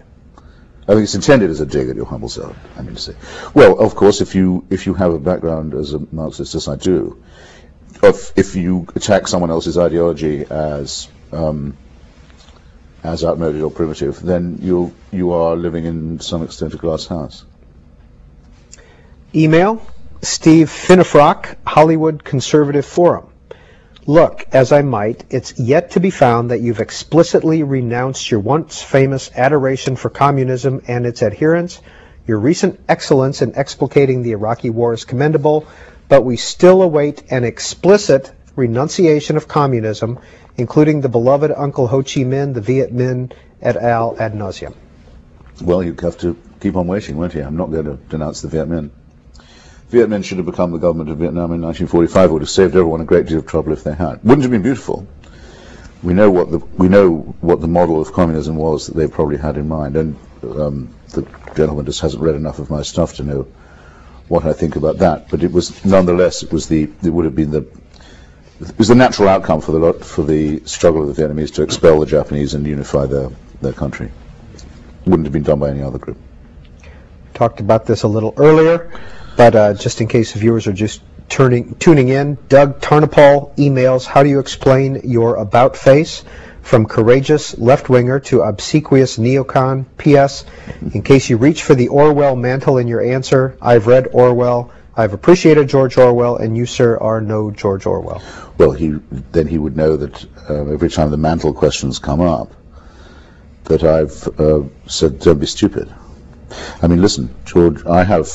I'm well. For one thing, I've, I'm more than ten years older than Orwell was when he died, um, and I've made a pretty, good living out of journalism. Orwell was always broke, but never sold out on a point. Orwell was a volunteer soldier in Spain, took a bullet bullet in the throat. I haven't been as courageous as that. I've never had to sacrifice much to censorship or, or poverty or oppression. And I don't write as well either. And I, I can't write novels at all. So um, the mantle thing is simply a sneer. As actually, come to think of it was the rest of the question. Um, you said that you've made a good living as a writer. Are you wealthy? No, I'm not, but I'm I get paid more than I need to pay the bills. It took a long time to get uh, stopping living from check to check. But I, I mean, I'm, I didn't mind that either because I'm, I'm doing the only thing I know how to do. So it, was, it isn't as if I could have done something else for a living. Was, there's nothing else I'm fit to do. Besides your books, uh, you also write for Vanity. But I mean, you know, this my current book is on the bestseller list, so I, I will I'll see some money from that. Um, besides your books, you write for Vanity Fair Yeah. on a contractual basis. Anyone else? I, I contributed an essay on books to the Atlantic Monthly. Not absolutely every month, um, I think about 10 months a year, fairly regularly anyway. That's a lovely job. What's your relationship with Graydon Carter? Well, Graydon and I were friends before he became editor of Vanity Fair. And I used to write for him a little when he was at the New York Observer. And um, we, we've been very tight for a long time. We have quite similar tastes in literature, if not in politics. I mean, again, P.G. Wodehouse, Evelyn Waugh, things like that. We, we always we always have some chat about that whenever we meet. Um, he's got a better dress sense than I have. He's always trying to get me to put on a tie and generally smarten myself up. But and he uh, very nicely he asked me to to come and write for him the first day I think he was appointed. So I've been doing it now since gosh, 92. It's going to be 15 years quite soon. Now I think about it. What's your relationship with the nation currently? I simply don't have one. I still have some friends there, but I mean, after doing a column for almost, excuse me, almost exactly 20 years, called Minority Report, I got to the stage where I'd gone well beyond diminishing returns. I, I just was essentially through with the mentality that makes the United States the author of its own troubles in in the matter of the war with um, jihadism. I just I have no no patience with that mentality of any kind anymore. Is Katrina vanden Heuvel a friend of yours? Yes, uh, as long as she says so. Uh, there's no reason why uh, we shouldn't consider ourselves friends. I haven't seen her for a bit.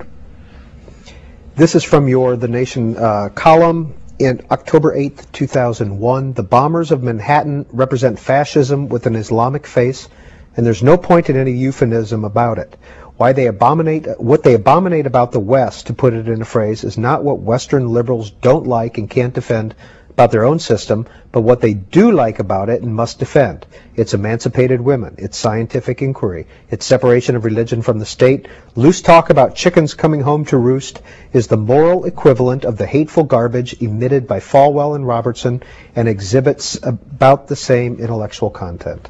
Yes, that was the week when the ridiculous uh, now uh, departed uh, Jerry Falwell and the even more repellent Pat Robertson, two complete rogues who just prove what you can get away with in this country if you can get yourself called reverend, had gone on the air while the, the cell phones were still bleeping under the rubble and you could still smell the stench of it all in downtown New York to smugly say, well, that's what you get for allowing abortion and gay rights in the United States. I couldn't believe that didn't put them straight out of business. Um, but that was the first response from the Christian right, and I don't think it should be forgotten. As if to emulate that, uh, in the same week, people like Howard Zinn and um, Norman Finkelstein and Noam Chomsky and many other people who actually really do think know better were saying roughly the same sort of thing. And Michael Moore, people like that, Oliver Stone. I mean, I, have debated almost all of these people now, not Chomsky, not in person, only in email. Um, saying, well, yes, it's because of our, our, our imperial uh, conquests and so forth. Um, as if bin Ladenism was some kind of liberation theology. It's it's just piffle all this. I'm not having anything to do with it. Did you lose friends after 9/11? Um, yes, I guess I must have done. Not well, to the extent that one lost them, I'm not sure that they were friends, if you see what I mean. But there were people who um, wrote and said un unkind things about your humble servant, uh, that sort of thing, uh, which seems to suggest they wouldn't want to see me again if, if they meant what they'd said. Well, in that case, fine.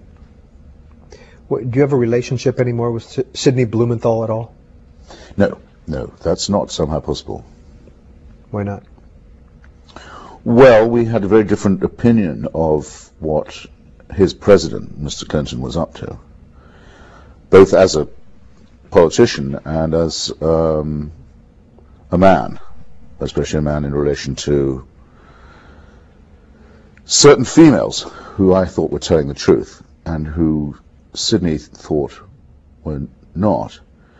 And Sydney, who who had, has many many talents, um, seemed to me to have been hired by the president to prostitute those talents, to, to essentially to defame and discredit those women. And I, I just found it too repulsive to put up with anymore. And I took it to the length, which a lot of people thought was too too much, of of, of testifying contradicting Sidney directly when he said that the White House had not tried to smear Monica Lewinsky as a stalker. a stalker. Yeah, I knew, I knew absolutely for sure at first hand that that wasn't true, that they had tried to smear her as a stalker. I, just, I think now no one denies it, but uh, because of the circumstances of the impeachment trial where I said I would if called to testify to that, it meant that Sidney and I had something of a, of a breach. How did that incident change your life or your relationships in Washington? Um, well, in two ways. One, I think that even if one, one is, or can be argued to be uh, in the right or trying to tell the truth, uh, or, or indeed telling it, there's the, a lot of people I can quite see will often think, well, someone is still acting in some ways as an informer. That's, not- that's the unpleasant insinuation. Um, and on the left, this is a very, very strong uh, tradition. Um, it's almost like a law of omerta. You know, anyone who testifies to a hearing is sort of like a fink, as a rat, as a stool pigeon. That, that's culture. Um, so I got a lot of sidelong looks about that. And of course, there were many, many people who thought and still think that it was nothing to do with the performance of the president's responsibilities or with his performance as a politician. That he had this squalid side to him and, and always had had. Um, but that's a different disagreement. Next call for Christopher Hitchens on In Depth, Rio Vista, California. Hi, Mr. Hitchens. That's a pleasure to talk with you. Thank you. Uh, I think you're a person of rare uh, honor and integrity in the intellectual community, and as a religious person myself, I feel like your work uh, helps me to uh, hold myself to a higher standard. Um, and I wondered if Well- you're familiar with the work of uh, Joseph Campbell and uh, Ken Wilber, whose views, I think, basically say that the problem with religion is the mythic level of religion, which you so effectively criticize. And Campbell uses uh, James Joyce, who I notice is one of your uh, favorite writers, to uh, bolster that opinion. So I wondered if you could comment about that. And thank you very much for your Well, work. first, thank you for being so generous, and second, I you catch me really forced to admit that I'm I'm very underread on, on Joseph Campbell, and it's a, it's an omission I, I have thought of more than once of um, of repairing. I know that he was something of a supporter of um, the psychological views of uh, Carl Gustav Jung, of which I'm slightly suspicious, I must say. But I, I know also that he's, he's written what seems quite provocative and interesting stuff about the role of myth and legend in, in forming religious orthodoxy. And I owe it to myself probably to be better informed the next time I get asked about this. Next call, Sarasota, Florida. Yes, can you all hear me? I'm calling on a. We're going to move on to Twin Falls, Idaho. Idaho, Yes. you're on the air. Yes, yes. We're openers, Mr. Hitchens. It's a great pleasure to speak to you, sir. Thank you. I am. Um, I'm hoping that I could at least have an intelligent question for you. Uh, just from my own opinion, from what I am seeing of you, uh, it sounds like you are somewhat of a dichotomy, and that it makes me. Uh, that's not bad, of course, but it, it does make you very complicated. I am wondering uh, what relation or where do you put um, um, the Mr. William F. Buckley in his uh, intellectual approach and his ideologies. Well, Yes. um, Mr. Buckley was incredibly good to me when he was running Firing Line, his his flagship TV show. Um, and would have me on quite often. And I remember thinking with Firing Line, unlike a lot of debate shows on TV, if you left that studio thinking, "Damn, I wish I'd made that point or made that point that way," it was your fault. You'd had every chance to do it. No one was trying to hurry you up or shut you down or or cut you off. Um, it was it was very impressive, and I I'm grateful to him for that style, and indeed the the, the style in which, for the most part, he ran um, National Review. But you know, I can't conceal the fact that I mean, especially on his editorship, the National Review was the was the worldview of the Catholic right wing. I mean, not excluding you know, General Franco and, and Joseph McCarthy, and um, I couldn't be further away from any interpretation of that kind. Quite, I actually I don't much go for spy throw novels either, but one or two of his Blackford Oakes uh, books amused me too. Sorry, just wanted to add that. Winston-Salem, North Carolina. Uh, yes, Mr. Hitchens, I'd like to ask you uh, what you think of, uh, well, in this country, I guess in particular, but you're experienced all throughout the world in uh, religious fundamentalism, fanaticism, or whatever, but um, what do you think is the level of hypocrisy between uh, those who espouse religion and uh, fundamentalism or whatever, and what you think they really do believe is such and uh, feel it within their Yes. spirit. And I just wondered if you could comment on that in this country and, and you know, perhaps throughout the world even.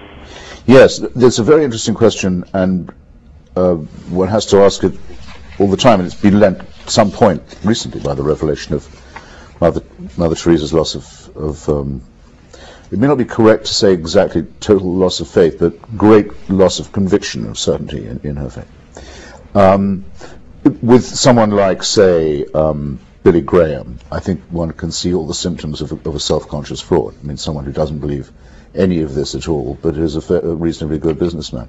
I have a reason for thinking that, apart from the, the terrible appearance that he gives in public, the, I mean, this, the appallingly phony appearance, I mean to say, there was a, there was a, a Canadian Billy Graham, a contemporary of his, um, who north of the border was that, that crusade embodied, called uh, James Templeton, who wrote a memoir uh, about the point when he himself realized that what he was talking was complete nonsense and, and no sensible person could believe it. And he went to Billy Graham and said, well, look, here's what's happened to me. Can, can you really go on saying this stuff? And Graham basically says, it's too late to stop now.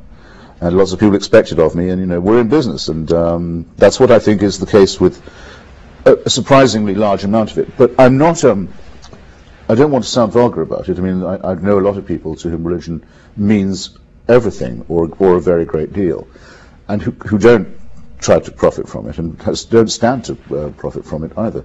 So I, I don't reduce the, everything to, to a racket, but I think that racketeering is and always has been an important part of religion. Some religions simply are rackets.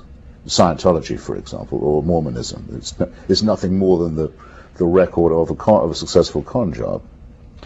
But the spiritual life um, can't be entirely reduced to that, and here's the problem. You, in, when you ask, do people really believe that? There can't be an answer to it because they they don't know any more than you do whether there was a virgin birth or a resurrection. If they say I believe it, they're still they they're still believing in something that they have to know very probably didn't take place. So what are they asking us to believe? They're asking us to believe their propensity to faith, in other words, to take something on faith without argument or evidence. Well, if somebody wants me to believe that of them, that they will do that, then I will. But I feel that they're arguing against themselves and probably doing themselves an injustice. You think Billy Graham's an evil man? Yes, disgustingly evil man. I'll tell you again why I say that, uh, choosing one out of a, a number of possible uh, answers. I think that uh, anti-Jewish prejudice is an unfailing sign of a sick and disordered person. It's a, it's, there are some kinds of prejudice. For example, I don't terrifically like people from Yorkshire, as it happens. I don't know why. I don't. But I, I don't think that convicts me of anything really insanitary. I, I probably would be a better person if I liked more people from Yorkshire. Anti-Semitism isn't like that. It's a, it's a, it's a horrible, uh, conspiratorial, pseudo-intellectual, mean-spirited, eventually lethal uh, piece of bigotry. You read the stuff that uh, Graham's been found saying to Richard Nixon on tape. You can get it from the Nixon Library now on the Jewish question. Once you've got over the revelation, which wasn't much of a revelation to me, of, of what a squalid little bigot President Nixon was, I, I guessed I knew that, you find that he's outmatched by the way that Billy Graham talks. Well, it doesn't mind. He, he does that in private and uh, harbors that stuff in private, and then goes out and uh, and uh, rakes in the cash for preaching brotherhood and compassion. It's enough to make you sick. Who's an American president that you And there's also there's no president who, however uh, deserving of condemnation, who can't get Billy Graham to come to his side at just the point he should, he's about ready to, or should be about ready to be, be either impeached or to make, make some kind of public apology or change of policy. No, this sort of valet, this religious valet, is always at their hand. saying, no, no, I can make this look good for you. I can, I can, I can be your religious PR man, power worshipper, cronyism, bigotry. It's a very unattractive combination. And then going around spouting lies to young people for a living, lying to the young for a living. What a horrible career. I, I, I gather it's soon to be over. I certainly hope so. Who's an American president you admire? Um, well, how, can I start from the beginning? I mean, sure. Yeah. Well, I, I, I didn't choose Mr. Jefferson as my subject. I was asked if I would do him, but he's he's clearly in many ways the most admirable because he's the most various. I mean, he he could have been a great he could have been a great lawyer. He could have been a great architect. He could have been a great paleontologist. He could have been um, a great author um, um, in innumerable ways. He had a man of really extraordinary talent. The only thing he was bad at was his actual job, which was farming. But then the tobacco and slave economy sort of deserved to fail, I guess. Um, and of course, his role in deepening and prolonging the institution of slavery is the, is the great outstanding black mark against him. But he's the most most extraordinary of the presidents, I believe, and certainly of the founding ones. Uh, Mr. Lincoln's the most probably absorbing one to study psychologically. Um, of the most of the more recent ones, I think uh, the man who used to live in my building, um, General Eisenhower, President Eisenhower. I see there's a new biography of him by Michael Korda to be coming out soon. I'm, I'm definitely going to see it because I have a feeling that he hasn't had justice quite done to him yet. Next call for Christopher Hitchens, Portland, Oregon.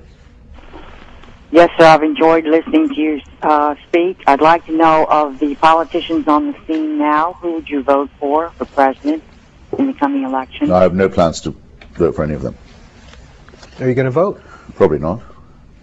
Really? Look, well, I have a column, you know, and I have uh, people have me on TV, and I go on the radio all the time. I can tell people my opinions. Um, I don't feel I, I have no means of expressing my preferences or my views, but I, there's no individual who could do that for me, who might hand my franchise and say, okay, I'd like you to represent me. No, not none of this crowd anyway. But you're a citizen now. Yeah, I know. It's, a, it's a waste, isn't it? It's a it's a shame because I live in Washington D.C. where the vote is meaningless for the for the we're disenfranchised for Congress. Still have to pay taxes, but disenfranchised. And um, and I don't have a party affiliation, and there's no politician I like. But I will I will of course in the end vote for whoever takes the toughest line on Iraq. What about as a symbol of democracy? Well, I'm not. The funny thing is, you see, it's not yet clear to me who that will be, or even if there will be one. It's quite possible that there won't be a candidate who represents my views on Iraq. What about as a symbol of democracy, though? Isn't that important to vote? Um, no. I know. I know what you mean. I know that people say, think of all the struggles and sacrifices that it took. Well, these include my right to abstain. Cary, North Carolina, you're on with Christopher Hitchens. Yes, Christopher, thank you for uh, your work and your appearance. Uh, I contend that the press in the USA is a quasi-governmental agency because of their constitutional protection, but they're unaccountable as the other three branches are. I think this is a serious um, lapse and causes a lot of damage. I think we need to reform somehow and make the press accountable. What are your opinions? Don't have. I, sometimes, you know, I can't think of anything to say. Hardest thing to admit if you're someone like me, and especially if you're on the air. Say nothing occurs to me. Joan Judge. Better, better that than blather than anything. Joan Judge, Hudson, Massachusetts. I once heard you call Colin Powell the world's most overrated human being. Would you comment on his role in perpetuating the Wilson Plame debacle? What do you think motivated him to let the country, uh, to let the country, not to mention the individuals involved, suffer through this ordeal? It's true. What I said about Colin Powell was that having more or less been elected as the most overrated man in the United States, he was going for the goal to be the most overrated man in the world. I don't understand it at all. It's all reputation as far as I can see, but basically done by kissing up and kissing down, and never better illustrated in this case than by his willingness to support the president when he thought things were going that way in Iraq, and then to subtly undermine him with a campaign of, of leaks and disinformation when things were getting sticky in Iraq. And the lady questioner is absolutely right. It is a scandal that um, Mr. Powell's best friend and colleague and protege, Mr. Armitage, always knew that he was the man who'd given Ms. Plame's identity to uh, Robert Novak, um, and just watched many of his colleagues be put through a hideous legal mill when a word from him could have stopped the whole thing. A, a gigantic waste of government time, colossal waste of resources, uh, huge acreage of, of, tedium and misinformation in the in the press, which thought it had a story when it didn't, um, and quite unforgivable performance by the State Department and really everyone in it, and, and the fish rotting right from the head in this case. Trent Whitney, Pittsburgh, Pennsylvania. You have at times defined yourself as a Trotskyite, but I've never heard you speak to what that political philosophy means. Well, um, you should say Trotskyist, by the way. It's a point of etiquette. it's, it's, too complicated to explain. He does. I didn't. Oh, okay. But he does. He got it right. Well, this goes back to something that seems rather arcane now, but was very vivid at one point, which was the split in the socialist movement between the uh, supporters of Joseph Stalin and the, the, supporters of what was known in, in Russia as the left opposition, whose leader was Leon Trotsky one of the original Bolshevik revolutionaries and the founder of the Red Army, who, after being expelled from the Soviet Union in 1927, tried to set up an international revolutionary organization to oppose Joseph Stalin and his policies and also to warn against the rise of Hitler. Uh, Trotsky's best writing, if you ever want to look any of this up, is, is his writing warning, warning the German workers what would happen if Hitler came to power, and, and everyone else in the world too by far the most prescient, more so than anything even that Churchill ever wrote. And it ended with um, Trotsky being assassinated on Stalin's orders in Mexico in 1940.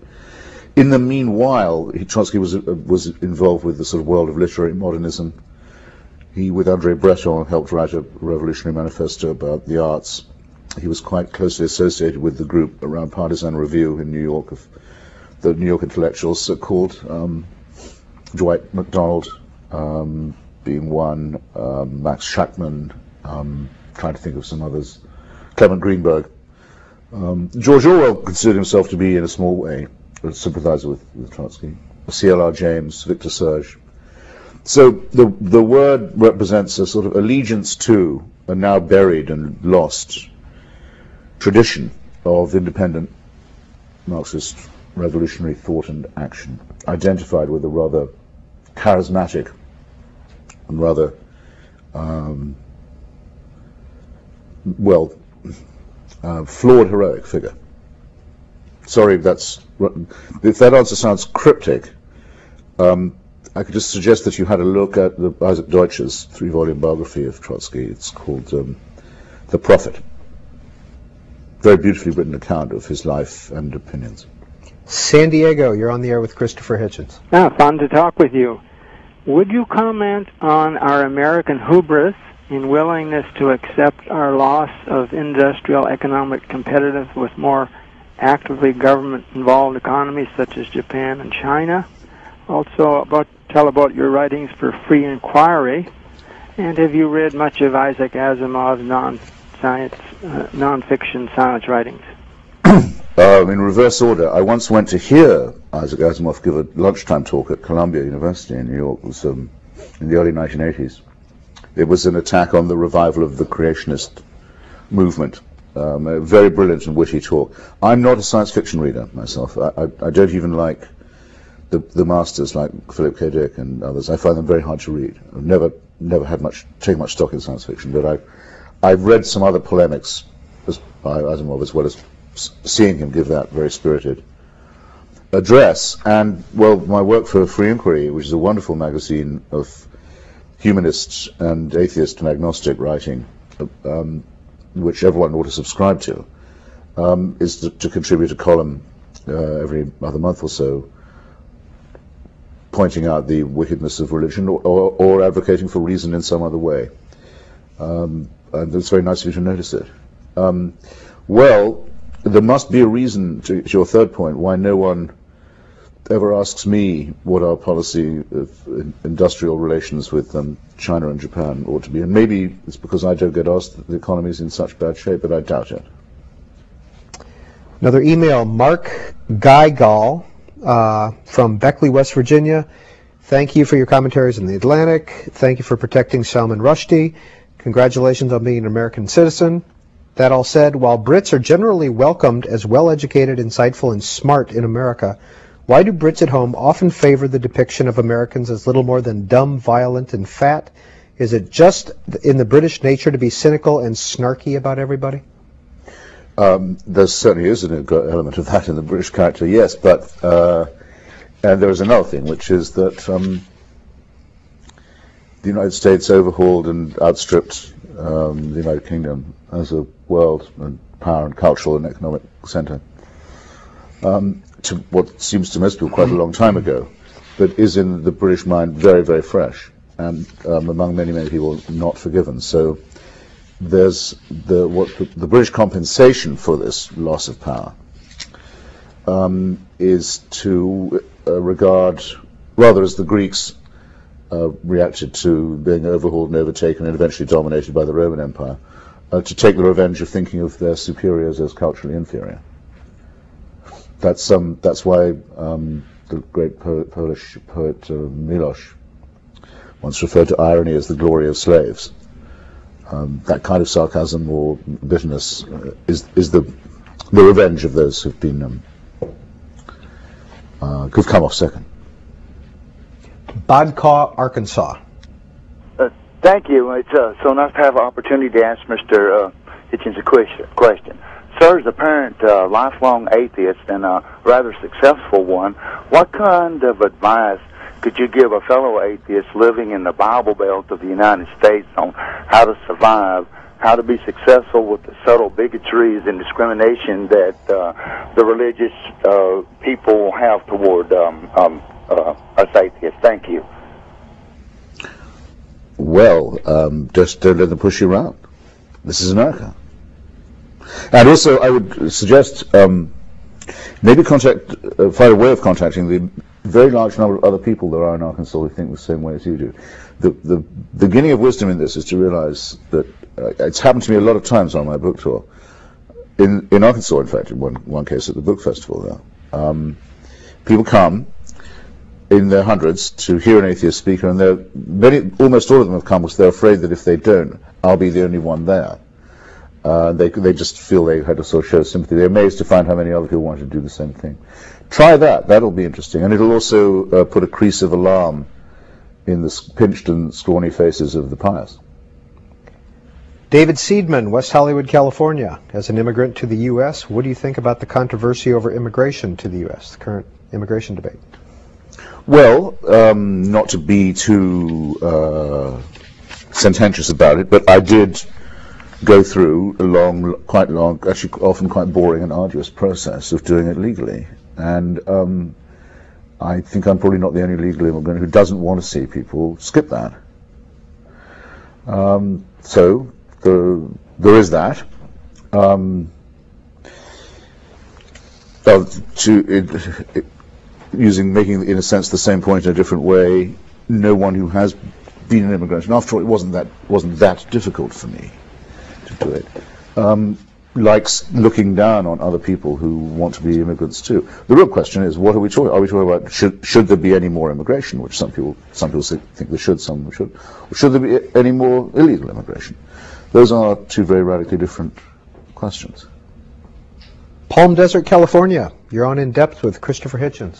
Uh, good afternoon, Mr. Hitchens. Uh, uh, the uh, the idea that uh, we were made by a God seems to me harmless enough in and of itself. The problem I see is with all the baggage uh, that uh, commonly rides on the back of that belief. Uh, that is uh, adherence to a rigid body of doctrine or dogma and uh, obedience to an authority that claims God as its provenance all through history, we've seen how that baggage has been abused in every faith that claims to be the true one. Uh, but uh, I wonder if you uh, wouldn't think that uh, it might be possible to believe in a God and not be led by the nose, and, and isn't that the argument we ought to be having? Well, yes, and we touched on it a, a little earlier um, in the distinction I made when talking of Thomas Jefferson and Thomas Paine, between deism and theism. There are those who say, well, look at the natural world, the, the order of the universe, etc., etc. You, you can't picture it without having some originating creator. But if suppose you granted that deistic assumption, your work as a theist would be all still to come. You, you still have to prove this, this God knows you're here, or cares that you are, or is going to intervene in your life, or would answer your prayers, or even listen to them. That, that's that still hasn't even been properly suggested, let alone proved. So that that might help to illuminate the distinction. However, if people say that we are we are literally made, in other words, with a purpose, fashioned by God, I think they commit two errors right away, which I'm sorry I think do lead to all the, the garbage and baggage that you identify, and to some worse stuff too. Here's why. It, it's, it's at once, it's too masochistic and it's too solipsistic. In other words, it makes you, as the Quran says, fashioned from a clot of blood, or the Bible says from dust. That's what you are. And, but incidentally, um, with original sin stirred in. So there you are, effectively a worm, um, the prisoner of a of an omnipotent uh, dictator. But um, so, uh, as if to compensate for that sort of abject, groveling an analysis of your condition, you're, you're, told that the whole universe is all about you, and that the the God has a plan with you in mind, and that you are in some sense the center of things as well. Now, both of these things are extraordinarily unwholesome for the human personality, and they also are remarkably out of conformity with anything we can recognize as cosmic or global reality. Okay? That's why the religion really began to decline when it was revealed that um, the sun does not go around the earth, and by analogy and in general, that we are not the center or the object of things. The Big Bang did not occur so we could be here. The process of evolution did not occur so I could be sitting here now. We get over that idea, these uh, crazy self-centered ideas masquerading as, as humility and modesty, we'd be intellectually and morally much better off right away. The word, uh, the concept of solipsism comes up a lot in your writing. What does it mean, and why do you use it? It means it means the the belief that no one is important except you. So I have to use it a lot because it's a very commonly encountered belief, and very often, of course, the people who have it don't realize they've got it. So it's your agreeable job to point it out to them. That's what they're suffering from. Next call for Christopher Hitchens, who was born in Portsmouth, England in 1949, Buffalo, New York. Yes, I have two statements, and I think the reason you have trouble with your belief system, Christopher, is because you didn't get a chance to form one as when you were young. You got sent to a boarding school, apparently, and so you didn't really have a belief system. I remember being eight, and I wondered why a lady, how a lady could have a baby. It was a movie, and without a doctor, and I thought the people in the movie were lying to me because it couldn't happen. There was no doctor there. I had no understanding of it, so therefore it seemed a lie. But I tell you, faith comes from experience. The people are not reading things and believing it. It comes from experience. If you, I, I saw my mother pray, so that's where I learned it from. I saw her pray every night, kneeling until she got too old to get up. Then she would kneel in bed. Then I had to try it for myself because I got so sick and I couldn't get well and I finally did get well. It was a mental thing, and I finally recovered. And it took some months to do it, or a lot of long weeks. But I just woke up one day and I was well. But my real shown up belief in God came when I had an instantaneous healing. I was at home alone, sick again, and I just prayed and asked God to come sit beside me and help me, and it was to Jesus. And I felt the heat like they always explain it was come over me and I mean it was momentarily. I was sick one minute and well the next, and I just got up and went to sleep, and the next day I went to work. I was totally instantaneously healed. Black people have to believe in God, or else we'd still be in slavery. There is a God. You just don't know. And if you want to know if it's true, put it to the test. Try it. Pray sometime and see if anything happens. It's happened enough for me that I can't have a doubt. And the same is with psychic phenomena. If something has happened to you, a thing happens, and then it comes to pass. You dream a thing, and it comes to pass more than once. It has to be a fact. It can't be a lie. Thank, Thank you, you, caller. No response? No, I take it as a comment. Have you ever prayed? Uh, what do you say to? No, that well, no, that's. I, I'm sorry, I shouldn't have said that. I mean, one was forced to pray um, several times a day. But some of the things you had to say aloud, um, the Nicene Creed, for example, or sometimes um, the Apostles' Creed, and the Lord's Prayer, and so forth. So yeah, I've in, I've intoned that, yes. And then then I discovered that um, they can make you come to church, they, but they can't actually make you pray. You don't have to do that. And I stopped. Uh, I stopped singing the hymns, and I wouldn't, I wouldn't kneel or bend forward when it was prayer time. They, and there was nothing they could do about that, because the law only says you have to go. It doesn't say you've got to believe. Um, in the New Yorker profile, But I would feel ashamed of myself if I did pray, because that is uh, what solipsism. I'm afraid that's what the lady was suffering from there too, for all her obvious sweet and genuine character. She thinks the world is all about her, and that Jesus is listening in case she has anything to say. It's all. It sounds so modest, doesn't it? So humble. It's an incredibly arrogant claim, as well as an absolutely ludicrous one. If people got well by praying, ma'am, I suppose I have to say this to you, we wouldn't be in the case that we are, with so many people desperately sick. why do you think? Beyond the reach even of the skilled medicine, which is the only hope of a, of a cure. It is. It is not that. That is not how people get better. It's um. Why do you think then that over a billion people on this earth think there's some kind of a higher power? I don't know that they do, but I think that the reason would be let's let's grant that, that, that they really do believe this and uh, give them credit for, for sincerity in the belief. My analysis in my book is this: we're, we are pattern-seeking animals. It's a good thing about us that we, we look for patterns, we look for um, recurrences and consistencies and so forth. And it's a, it's a weakness as well as a strength because we, for example, we prefer a conspiracy theory to no theory at all. But we do look for patterns, and it's quite difficult for us to imagine that we don't know the cause of things or the first cause. We, we like to think we could find that out. Um, and we also have, it's very easy to persuade us that things are all about us and that we're the object of all this. So if people, people say, well, um, look, you know, these the stars move in a predictable way, um, the seasons move in a predictable way. There must be some system here. Must it must mean something. Um, it must have been started by someone. Now, as you know, all of these are completely unwarrantable assumptions, but they the counterintuitive